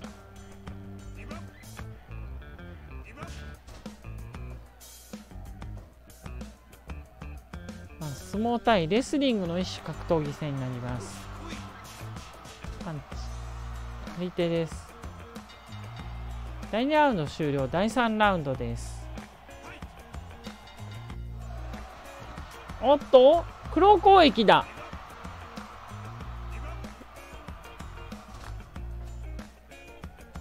ブレンクロー。さあこれはボストンクラブです。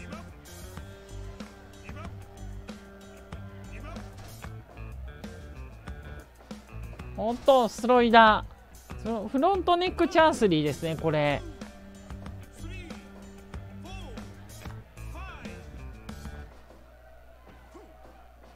あっと、なんだこれ。フロントスープレックス気味に投げます。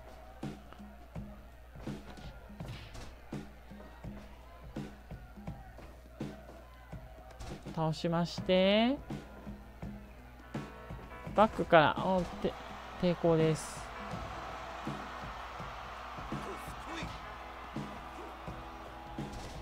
またフロントスープレックス。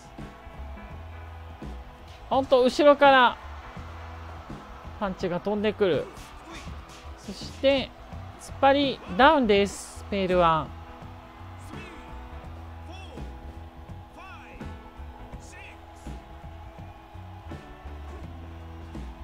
フロントスープレックス。ダウン。お互いの得意技でダダウンを取ってますね。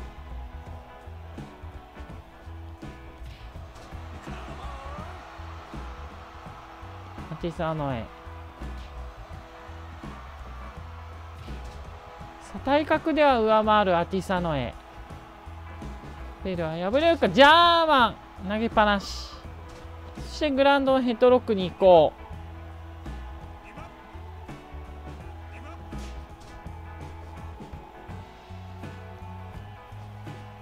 う。投げましてダウンです。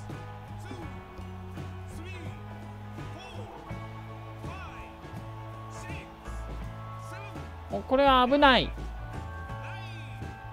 ないんでなんとか立ち上がりましたアーティサノへヘッドバット連発。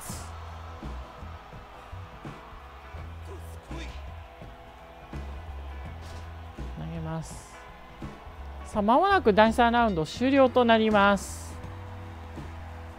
あと2ラウンド、第4ラウンドスタートです。お、ネッキングハンギングツリー、どうだ？します。初星が欲しい。2回目だ。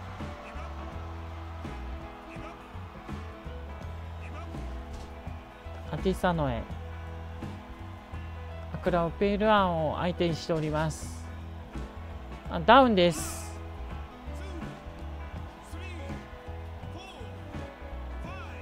シュダする気味のあの投げですねどうだ？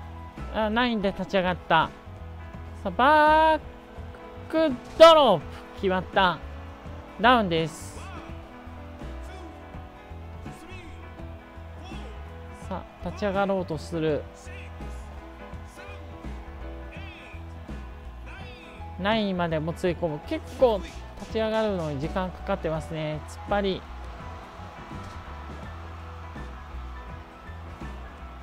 サイドスープレックス。ダウンです。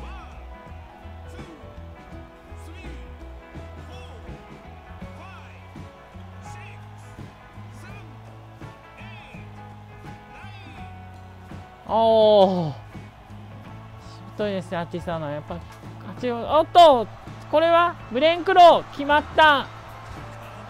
最終戦にして、え初勝利を取りペールワンから取りました。アティサノエ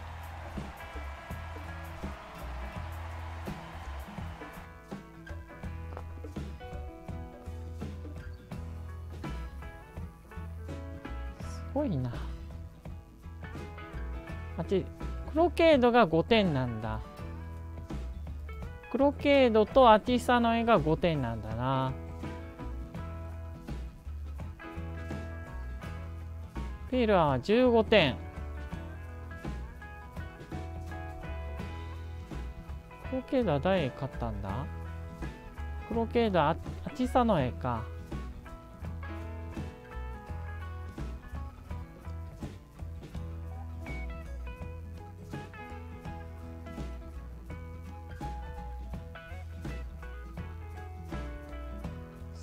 次の試合ですが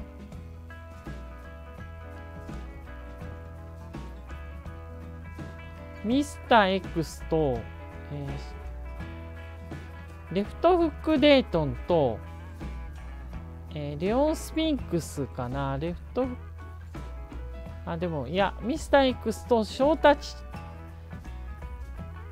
チョチョシビーの試合でいきましょう。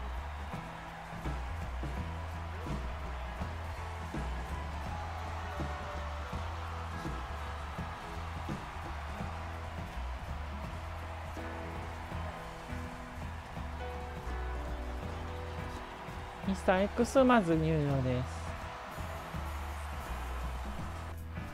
そしてそれに対してちょっとシビーが入場してまいります。妙気を破った男をツトスリ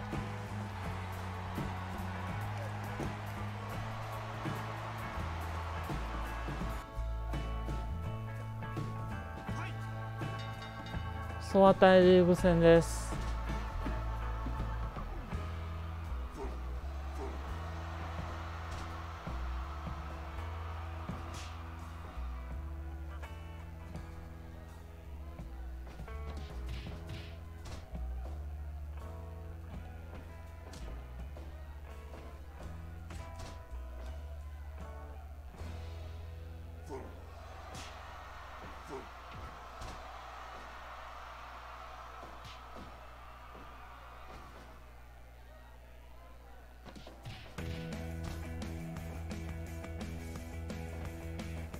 同時面スイーパー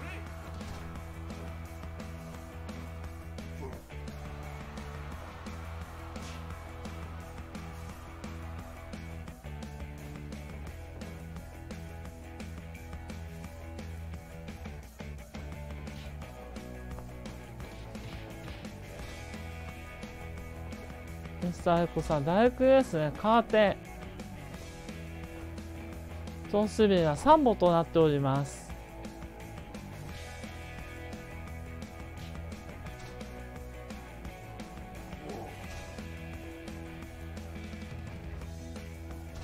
バックスイーパーです。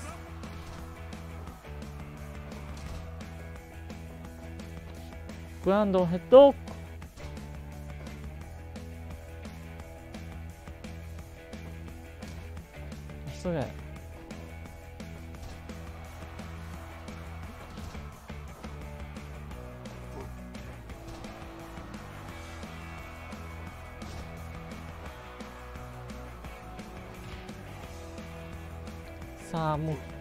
ライオンマークキングオブスポーツ。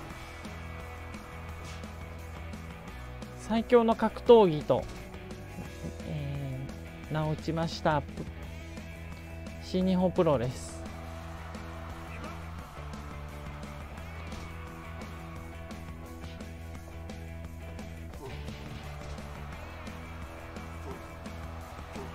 そのライオンマークの、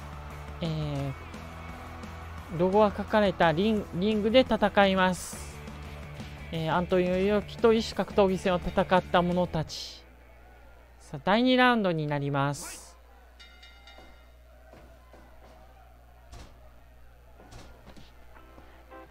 ヘッドヘッドロック。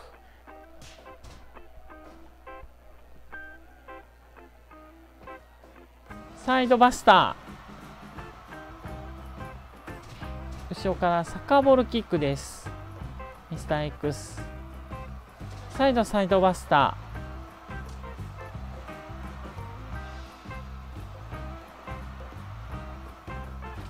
ー。蹴りです。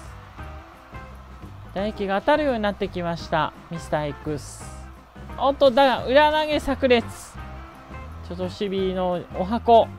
そして同時目スニーパー。だからロープウェイク。またも裏投げだ。えぐい。サイド同時ウエスタこれもロープウェイクでしょう。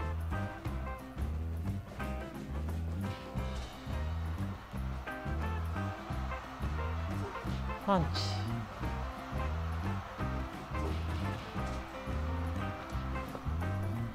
唾液戦。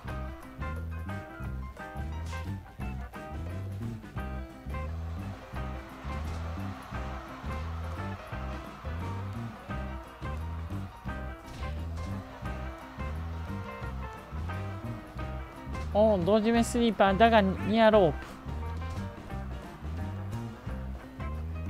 プ。裏投げ。ダウンです。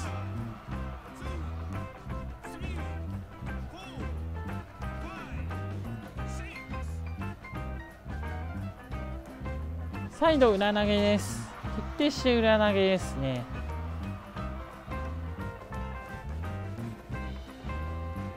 そしてロープに振って。エルボーです。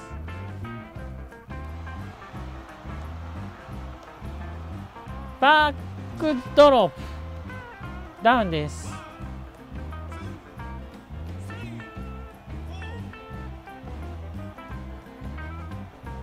サイド裏投げ徹底して裏投げですね。そして同時目スリーパー真ん中です。さあ間もなく5分になるが第2ラウンドは終了。第3ラウンドへ。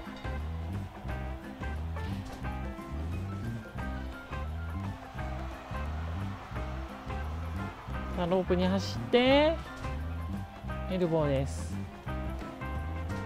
投げましてダウン。ダウンすると長いが止まってしまってそれ関節いけないんで不利ですよね。グラップラーは。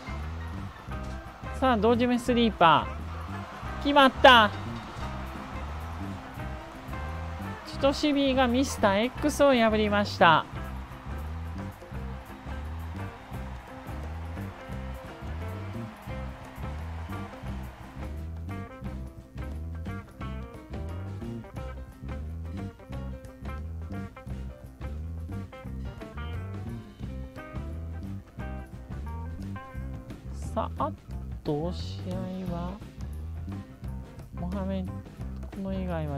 レフトウックデートンとレオスピンクスチャック・エプナーとジャウド・ゴールドぐらいか。じゃあゴルドーとチャック・エプナーを先やるか。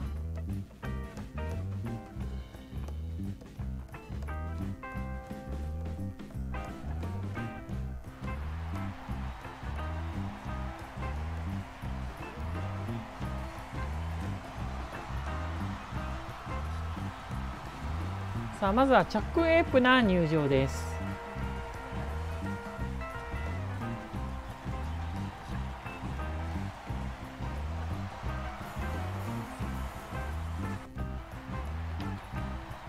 そしてジェラルド・ゴルドが入場してまいりました。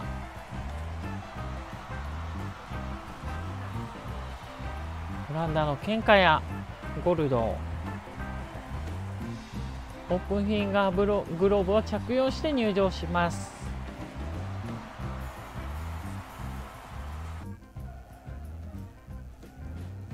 一種格闘技戦。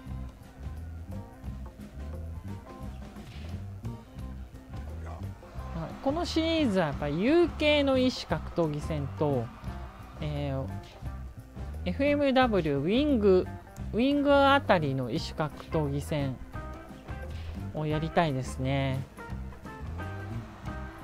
シリーズとして続けて。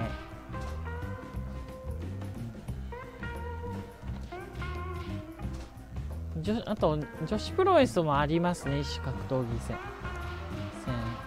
なんか銃剣というかパンチに。ボクシング近い一戦だったらしいですが。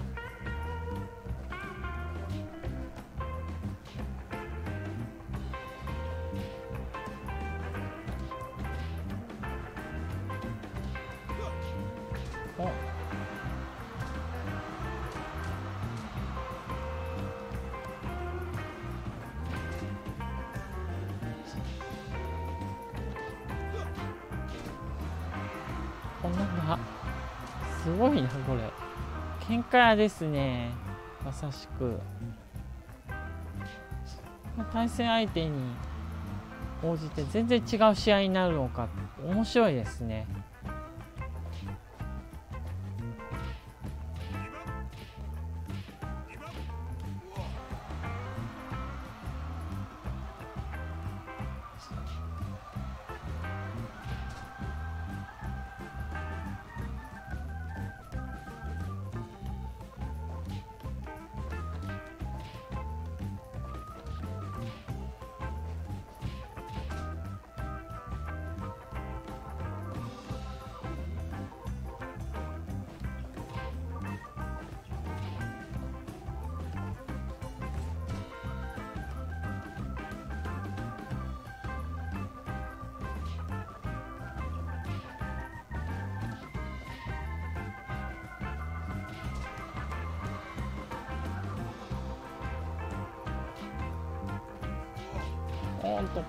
連続の打撃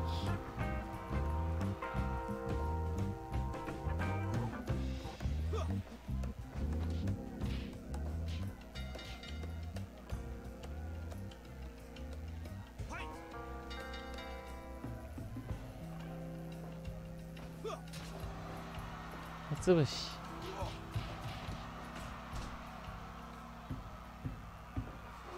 マウントパンチ。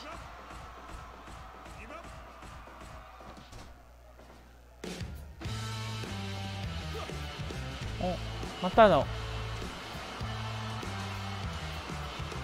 ダウンです。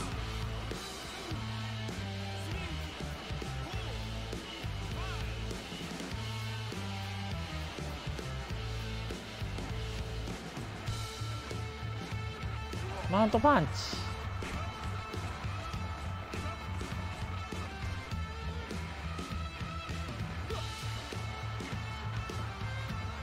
喧嘩らしく反則攻撃も使ってきます。そしてまたマウントパンチ。決まった。ゴルドーが貫禄勝ちを見せました。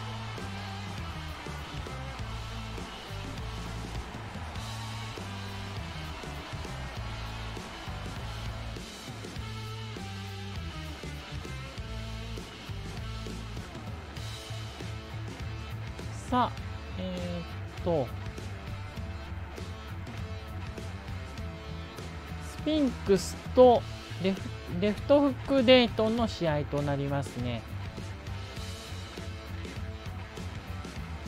45点と40点の一戦となります。さあこれを残すとあとはモハメド・アリ対ウィリー・ウィリアムスとの優勝決定のリーグ戦の最終試合となります。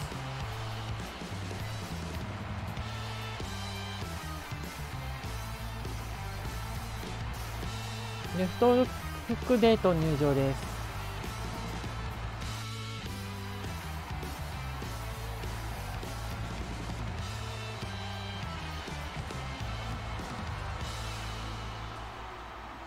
さあ獅子王レオンスピンクス。さあ両方ともボクシングスタイルなのでボクシングやキックボクシングの大義戦や繰り広げられるものと思われます。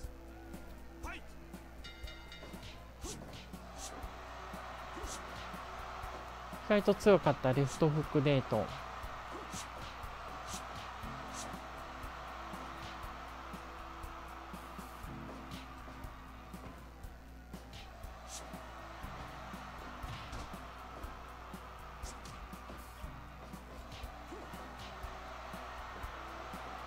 サウスポースタイルなんかな？名前名前変えるとデートンは。さあ大気戦を見せます。スピンクスとレフトフックデートン。おーとパンチを打ち込む。さらにバックマウント。卓決戦を狙っているのか？レオンスピンクス。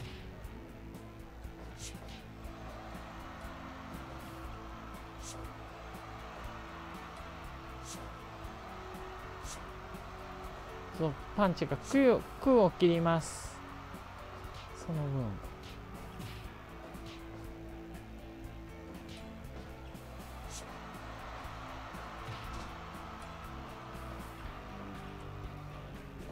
マウントパンチ。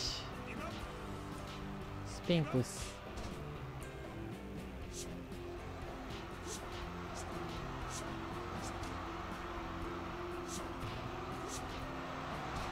おっと。据え落ちる。スピンクス。エルボーです。そしてバックマウントです。だがこれロープブレイクになります。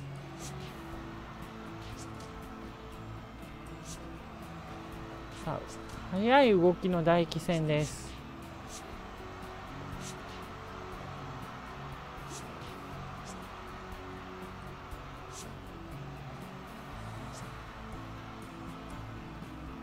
の鬼見てるような感じやな。沢村。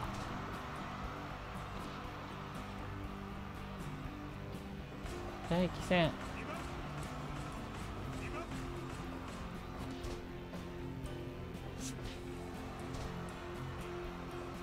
カバーに行き。ん？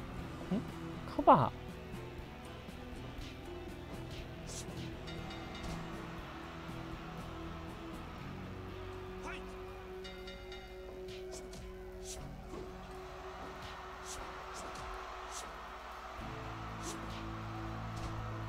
崩れ落ちるそして後ろからバックマウント。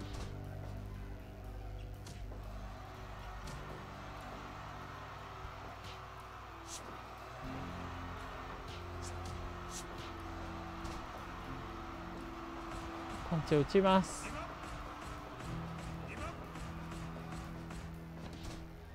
レオスピンクス。レフトフックデートもキックで応戦だ。細かくパンチを入れるデートン。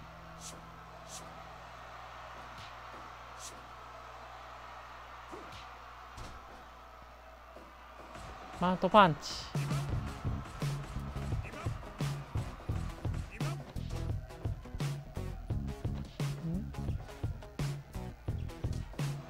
細かく蹴り。落ちる。またはマウントパンチ。ちょっとパンチを食いすぎると厳しくなるぞデートン。崩れ落ちる。デートン、えー、スフィンクス。蹴り落ち。おっと左パンチ。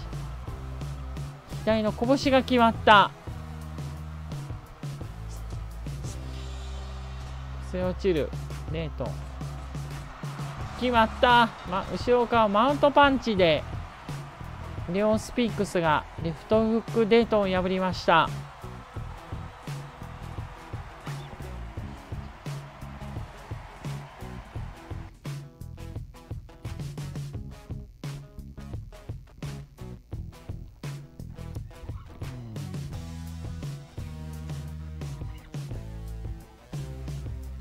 これでもう次が最後の一戦になるんじゃないでしょうか。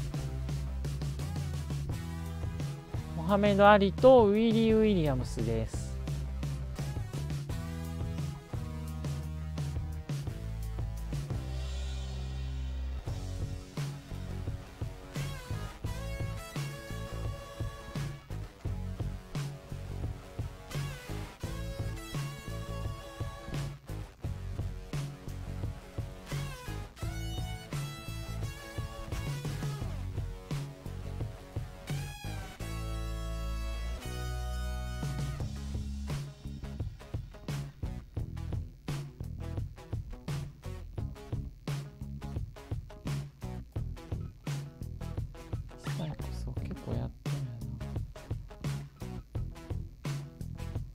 ルスカ破ってんのか。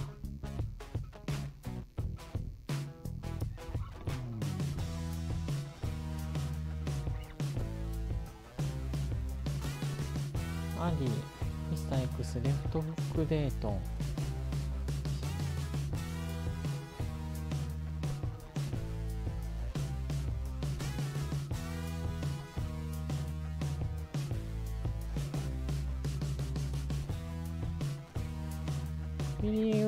スには勝ってるんですけどね。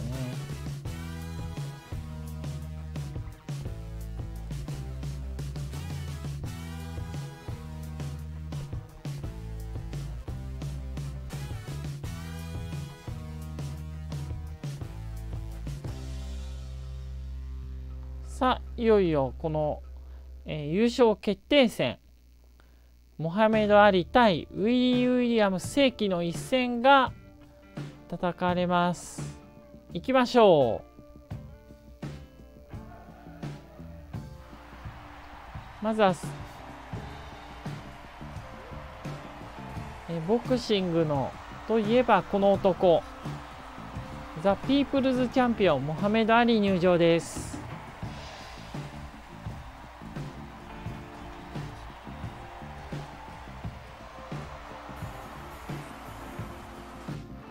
対するは極真空手の強豪熊殺しウィリー・ウィリアムズ。知名、えー、異種格闘技戦の中では知名度高い2人の優勝決定戦となりました。果たしてどちらが勝つんでしょうか？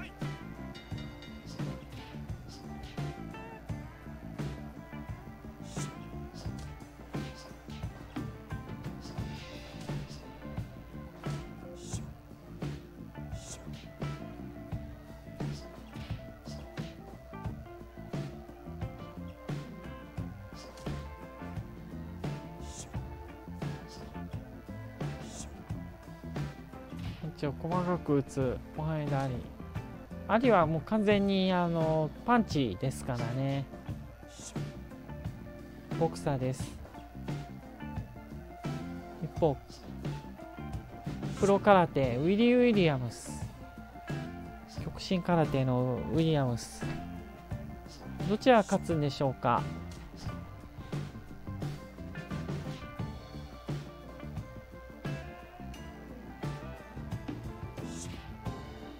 蹴りがありますからね。キックボクシングじゃ空手には。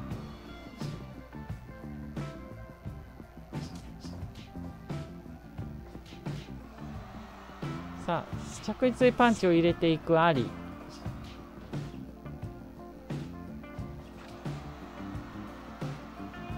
さあ第1ラウンドも半分を経過しております。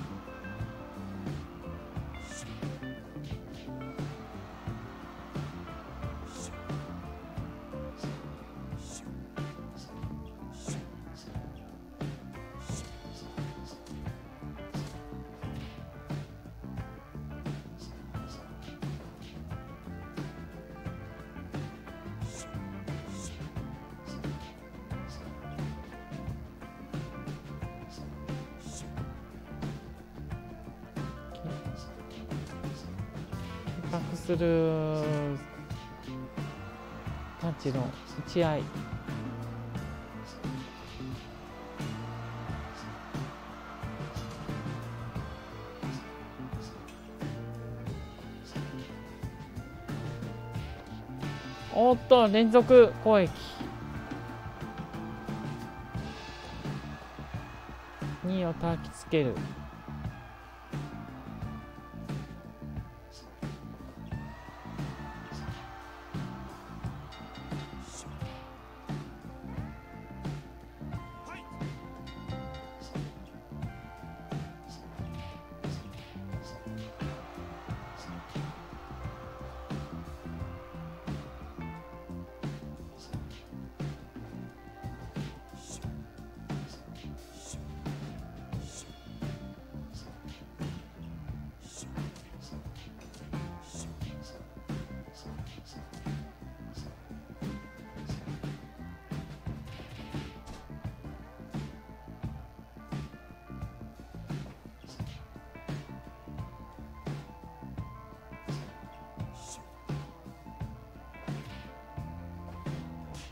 おっとエルボー、え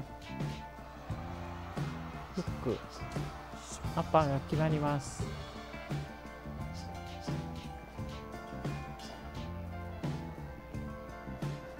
ットワークを使う。モハメド・アリ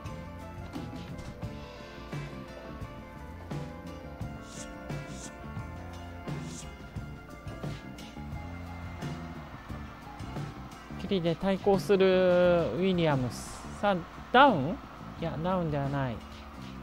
後ろからパンチを打つ。崩れ落ちる。おっと？なんと？意外。ビアハックだ。クリンチみたいになってるんですが。エルボーです。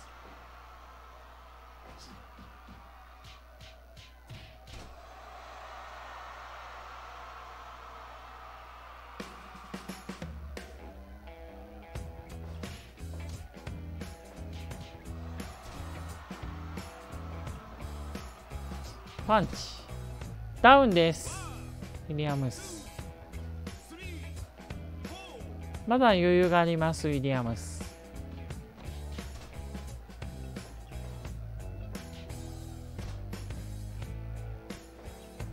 さあ連続でパンチダメージン与えるか。おっと今度はウィリアムスの連続攻撃。今度は兄のパンチ。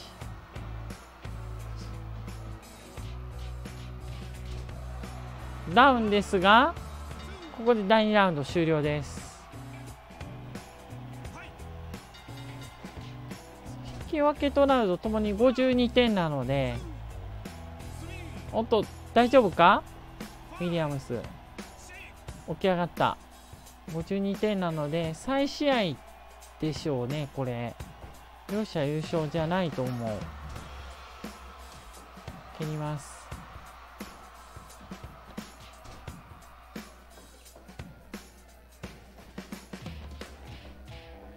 唾液の打ち合い。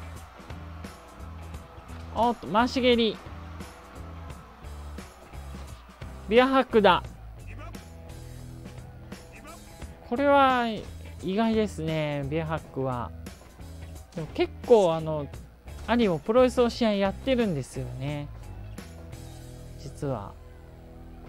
ボクシングの合間に。ダウンですアリ。立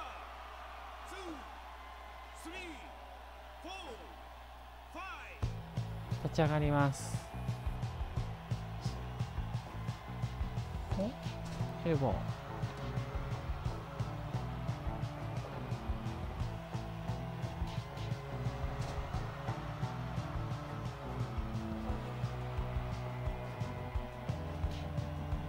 お落ちる。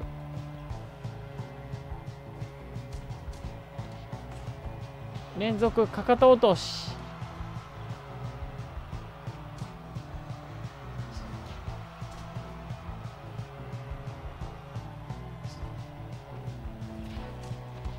たも連続攻撃ダウン。さあまだ余裕がありますね。アリは。5で立ち上がりました。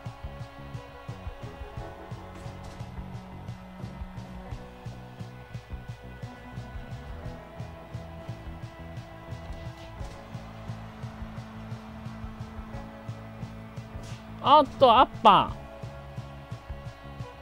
そしてストレート。パンチを打ち込む。そしてマウントだ。ここで決まった。優勝モハメド・アリ。さがババックマウントのパンチを打ち込んでウィリー・ウィリアムズギブアップモハメド・アリが優勝です。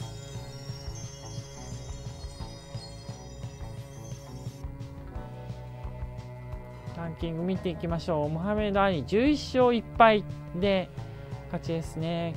ウィリー・ウィリアムスゼロゴールドと並んでおります。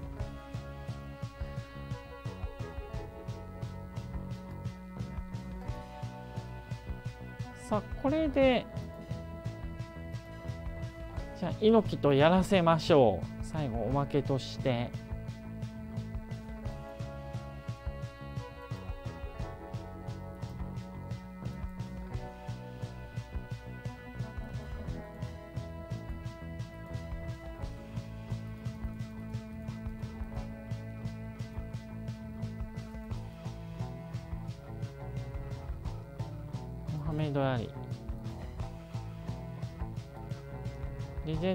からアントニオ猪木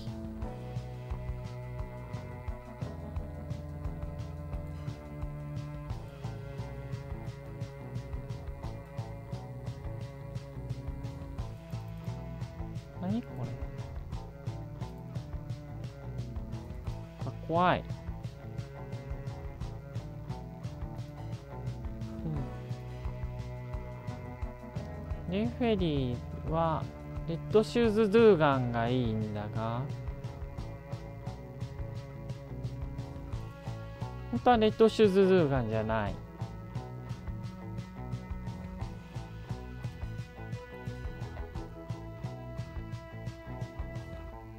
で新日本プロレスだよな。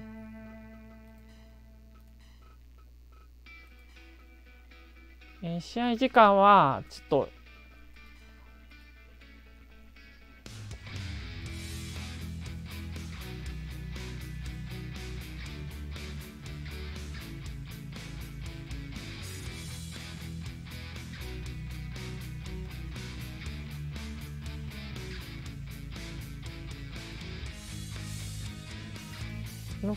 徹底して猪木に不利なれ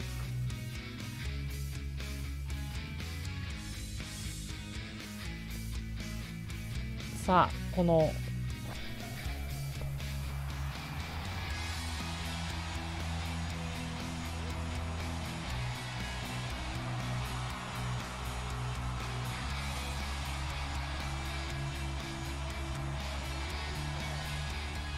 猪木にとって不利あるルルールを受けるしかないモハメ。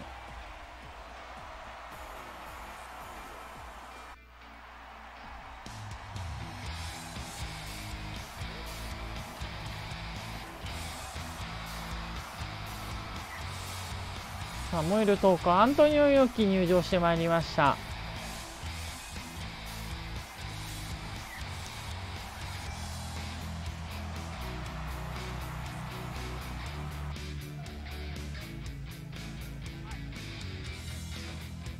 試合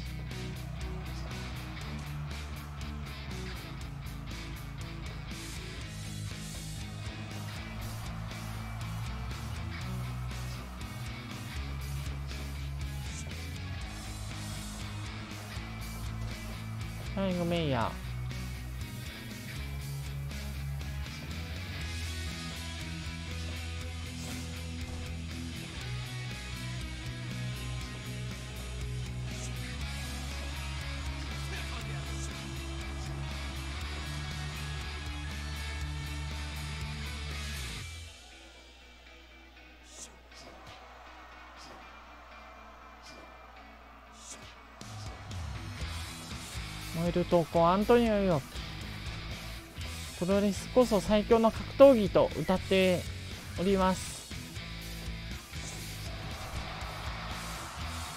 厳しいルールを受け入れて、えー、モハメド・アリに挑みます。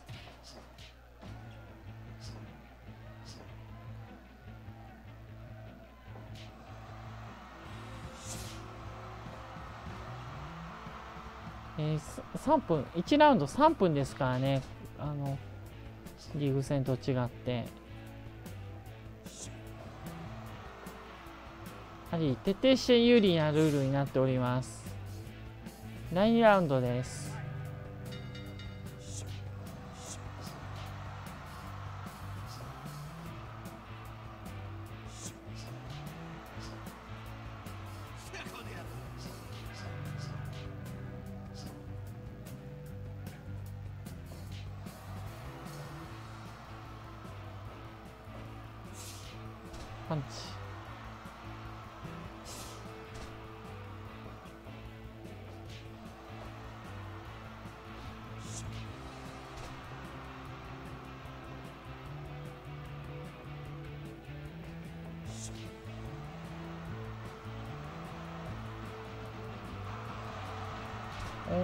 お癖落ちる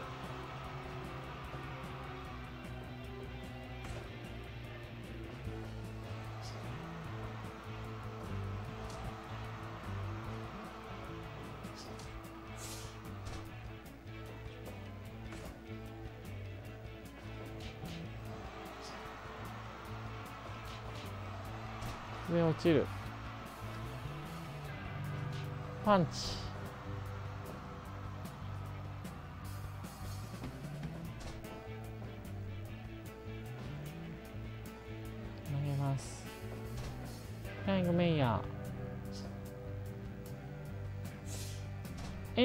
は決まらず。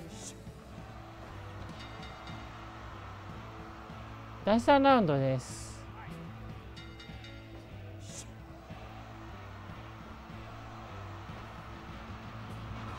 チを連続で打つ。だ猪木ダウン。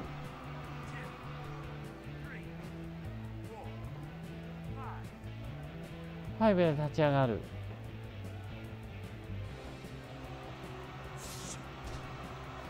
熱や不発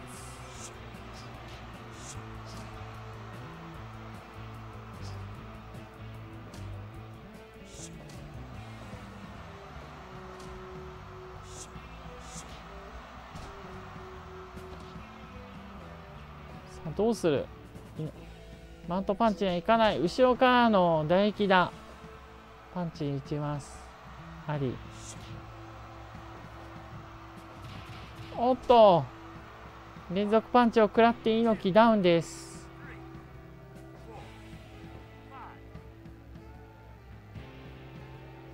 起き上がる。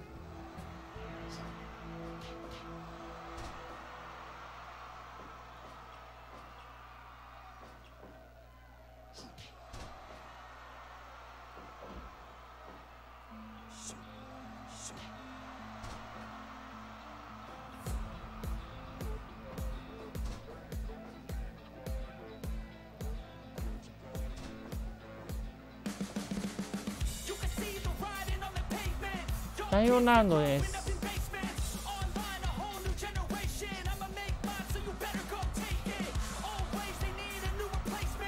よく見せ場がない。おっと。後ろから攻められて猪木ピンチ、うん、蹴りで対抗しますがダウンですよき起き上がれるか。よき立ってくれ。あ厳しいかな。10カウント。4ラウンド。猪木マットに沈みました。モハメド・アリ強い。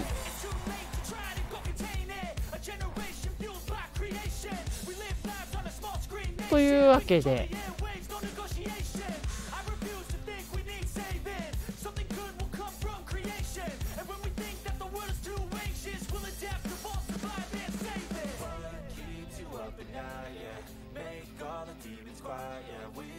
えー、猪木と戦った選手たちのリーグ戦を、えー、行いました。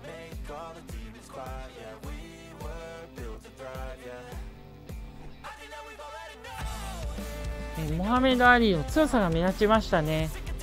結果的には。あるいはゴルゴルドーには敗れましたがそれ以外には完勝。ピープルズチャンピオンの意地を見せつけましたね。ということで、えー、このシリーズは終了です。えっ、ー、と次のリーグ戦は早ければ明日あたりにちょっとやってしまいたいなとは思います。あさってか。あさって日曜日あたりにやってしまえればなと思います。ただね対抗7年とか原神もやりたいんですよね。なので。ああでもあさってやらないとダメだ。深夜の BGV で流さないといけないからね。まあ A 列車流してもいいかもしれないですけど。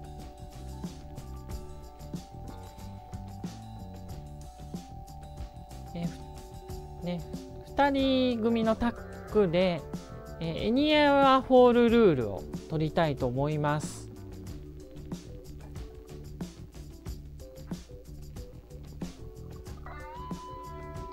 12チーム ×2 かな。そちらで、えー、決着をした行いたいと思いますのでぜひ次のあのこのリーグ戦 BGV シリーズもご期待ください。ということで、えー、ファイアプロレスリングワールドここまでとなります、えー、ツイッチで配信を行ってきましたツイッチアカウントフォローぜひお願いしますえ Please my Twitch アカウントフォロー Please えこの配信のアーカイブは YouTube にアップロード予定です。19日21時頃からプレミア公開予定です。ぜひ見てください。YouTube チャンネル登録、高評価お願いいたします。My YouTube チャンネル、えー、アカウント、えーチャンネルサブスクライブドグッドボタンプリーズ This Live Archive Upload My YouTube チャンネル Two Days After えプレミアムービーまた旧 Twitter である X のアカウントを持っております。えチャット欄にアドレス記載してますのでぜひ見てください、え X のアカウントのフォローリポストいいねもお願いいたします。マイツイッター X アカウントビジットフォローリポストグッドボタンプリーズということで、えー、 Fire Pro Wrestling World、えー、猪木と異種格闘技戦を戦った選手たちのリーグ戦、えー、シリーズこ、えー、2回の短期シリーズとなりましたがここで終了。モハメド・アリが見事優勝となりました。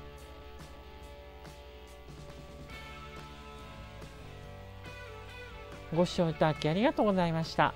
ゲーム動画でいこうでした。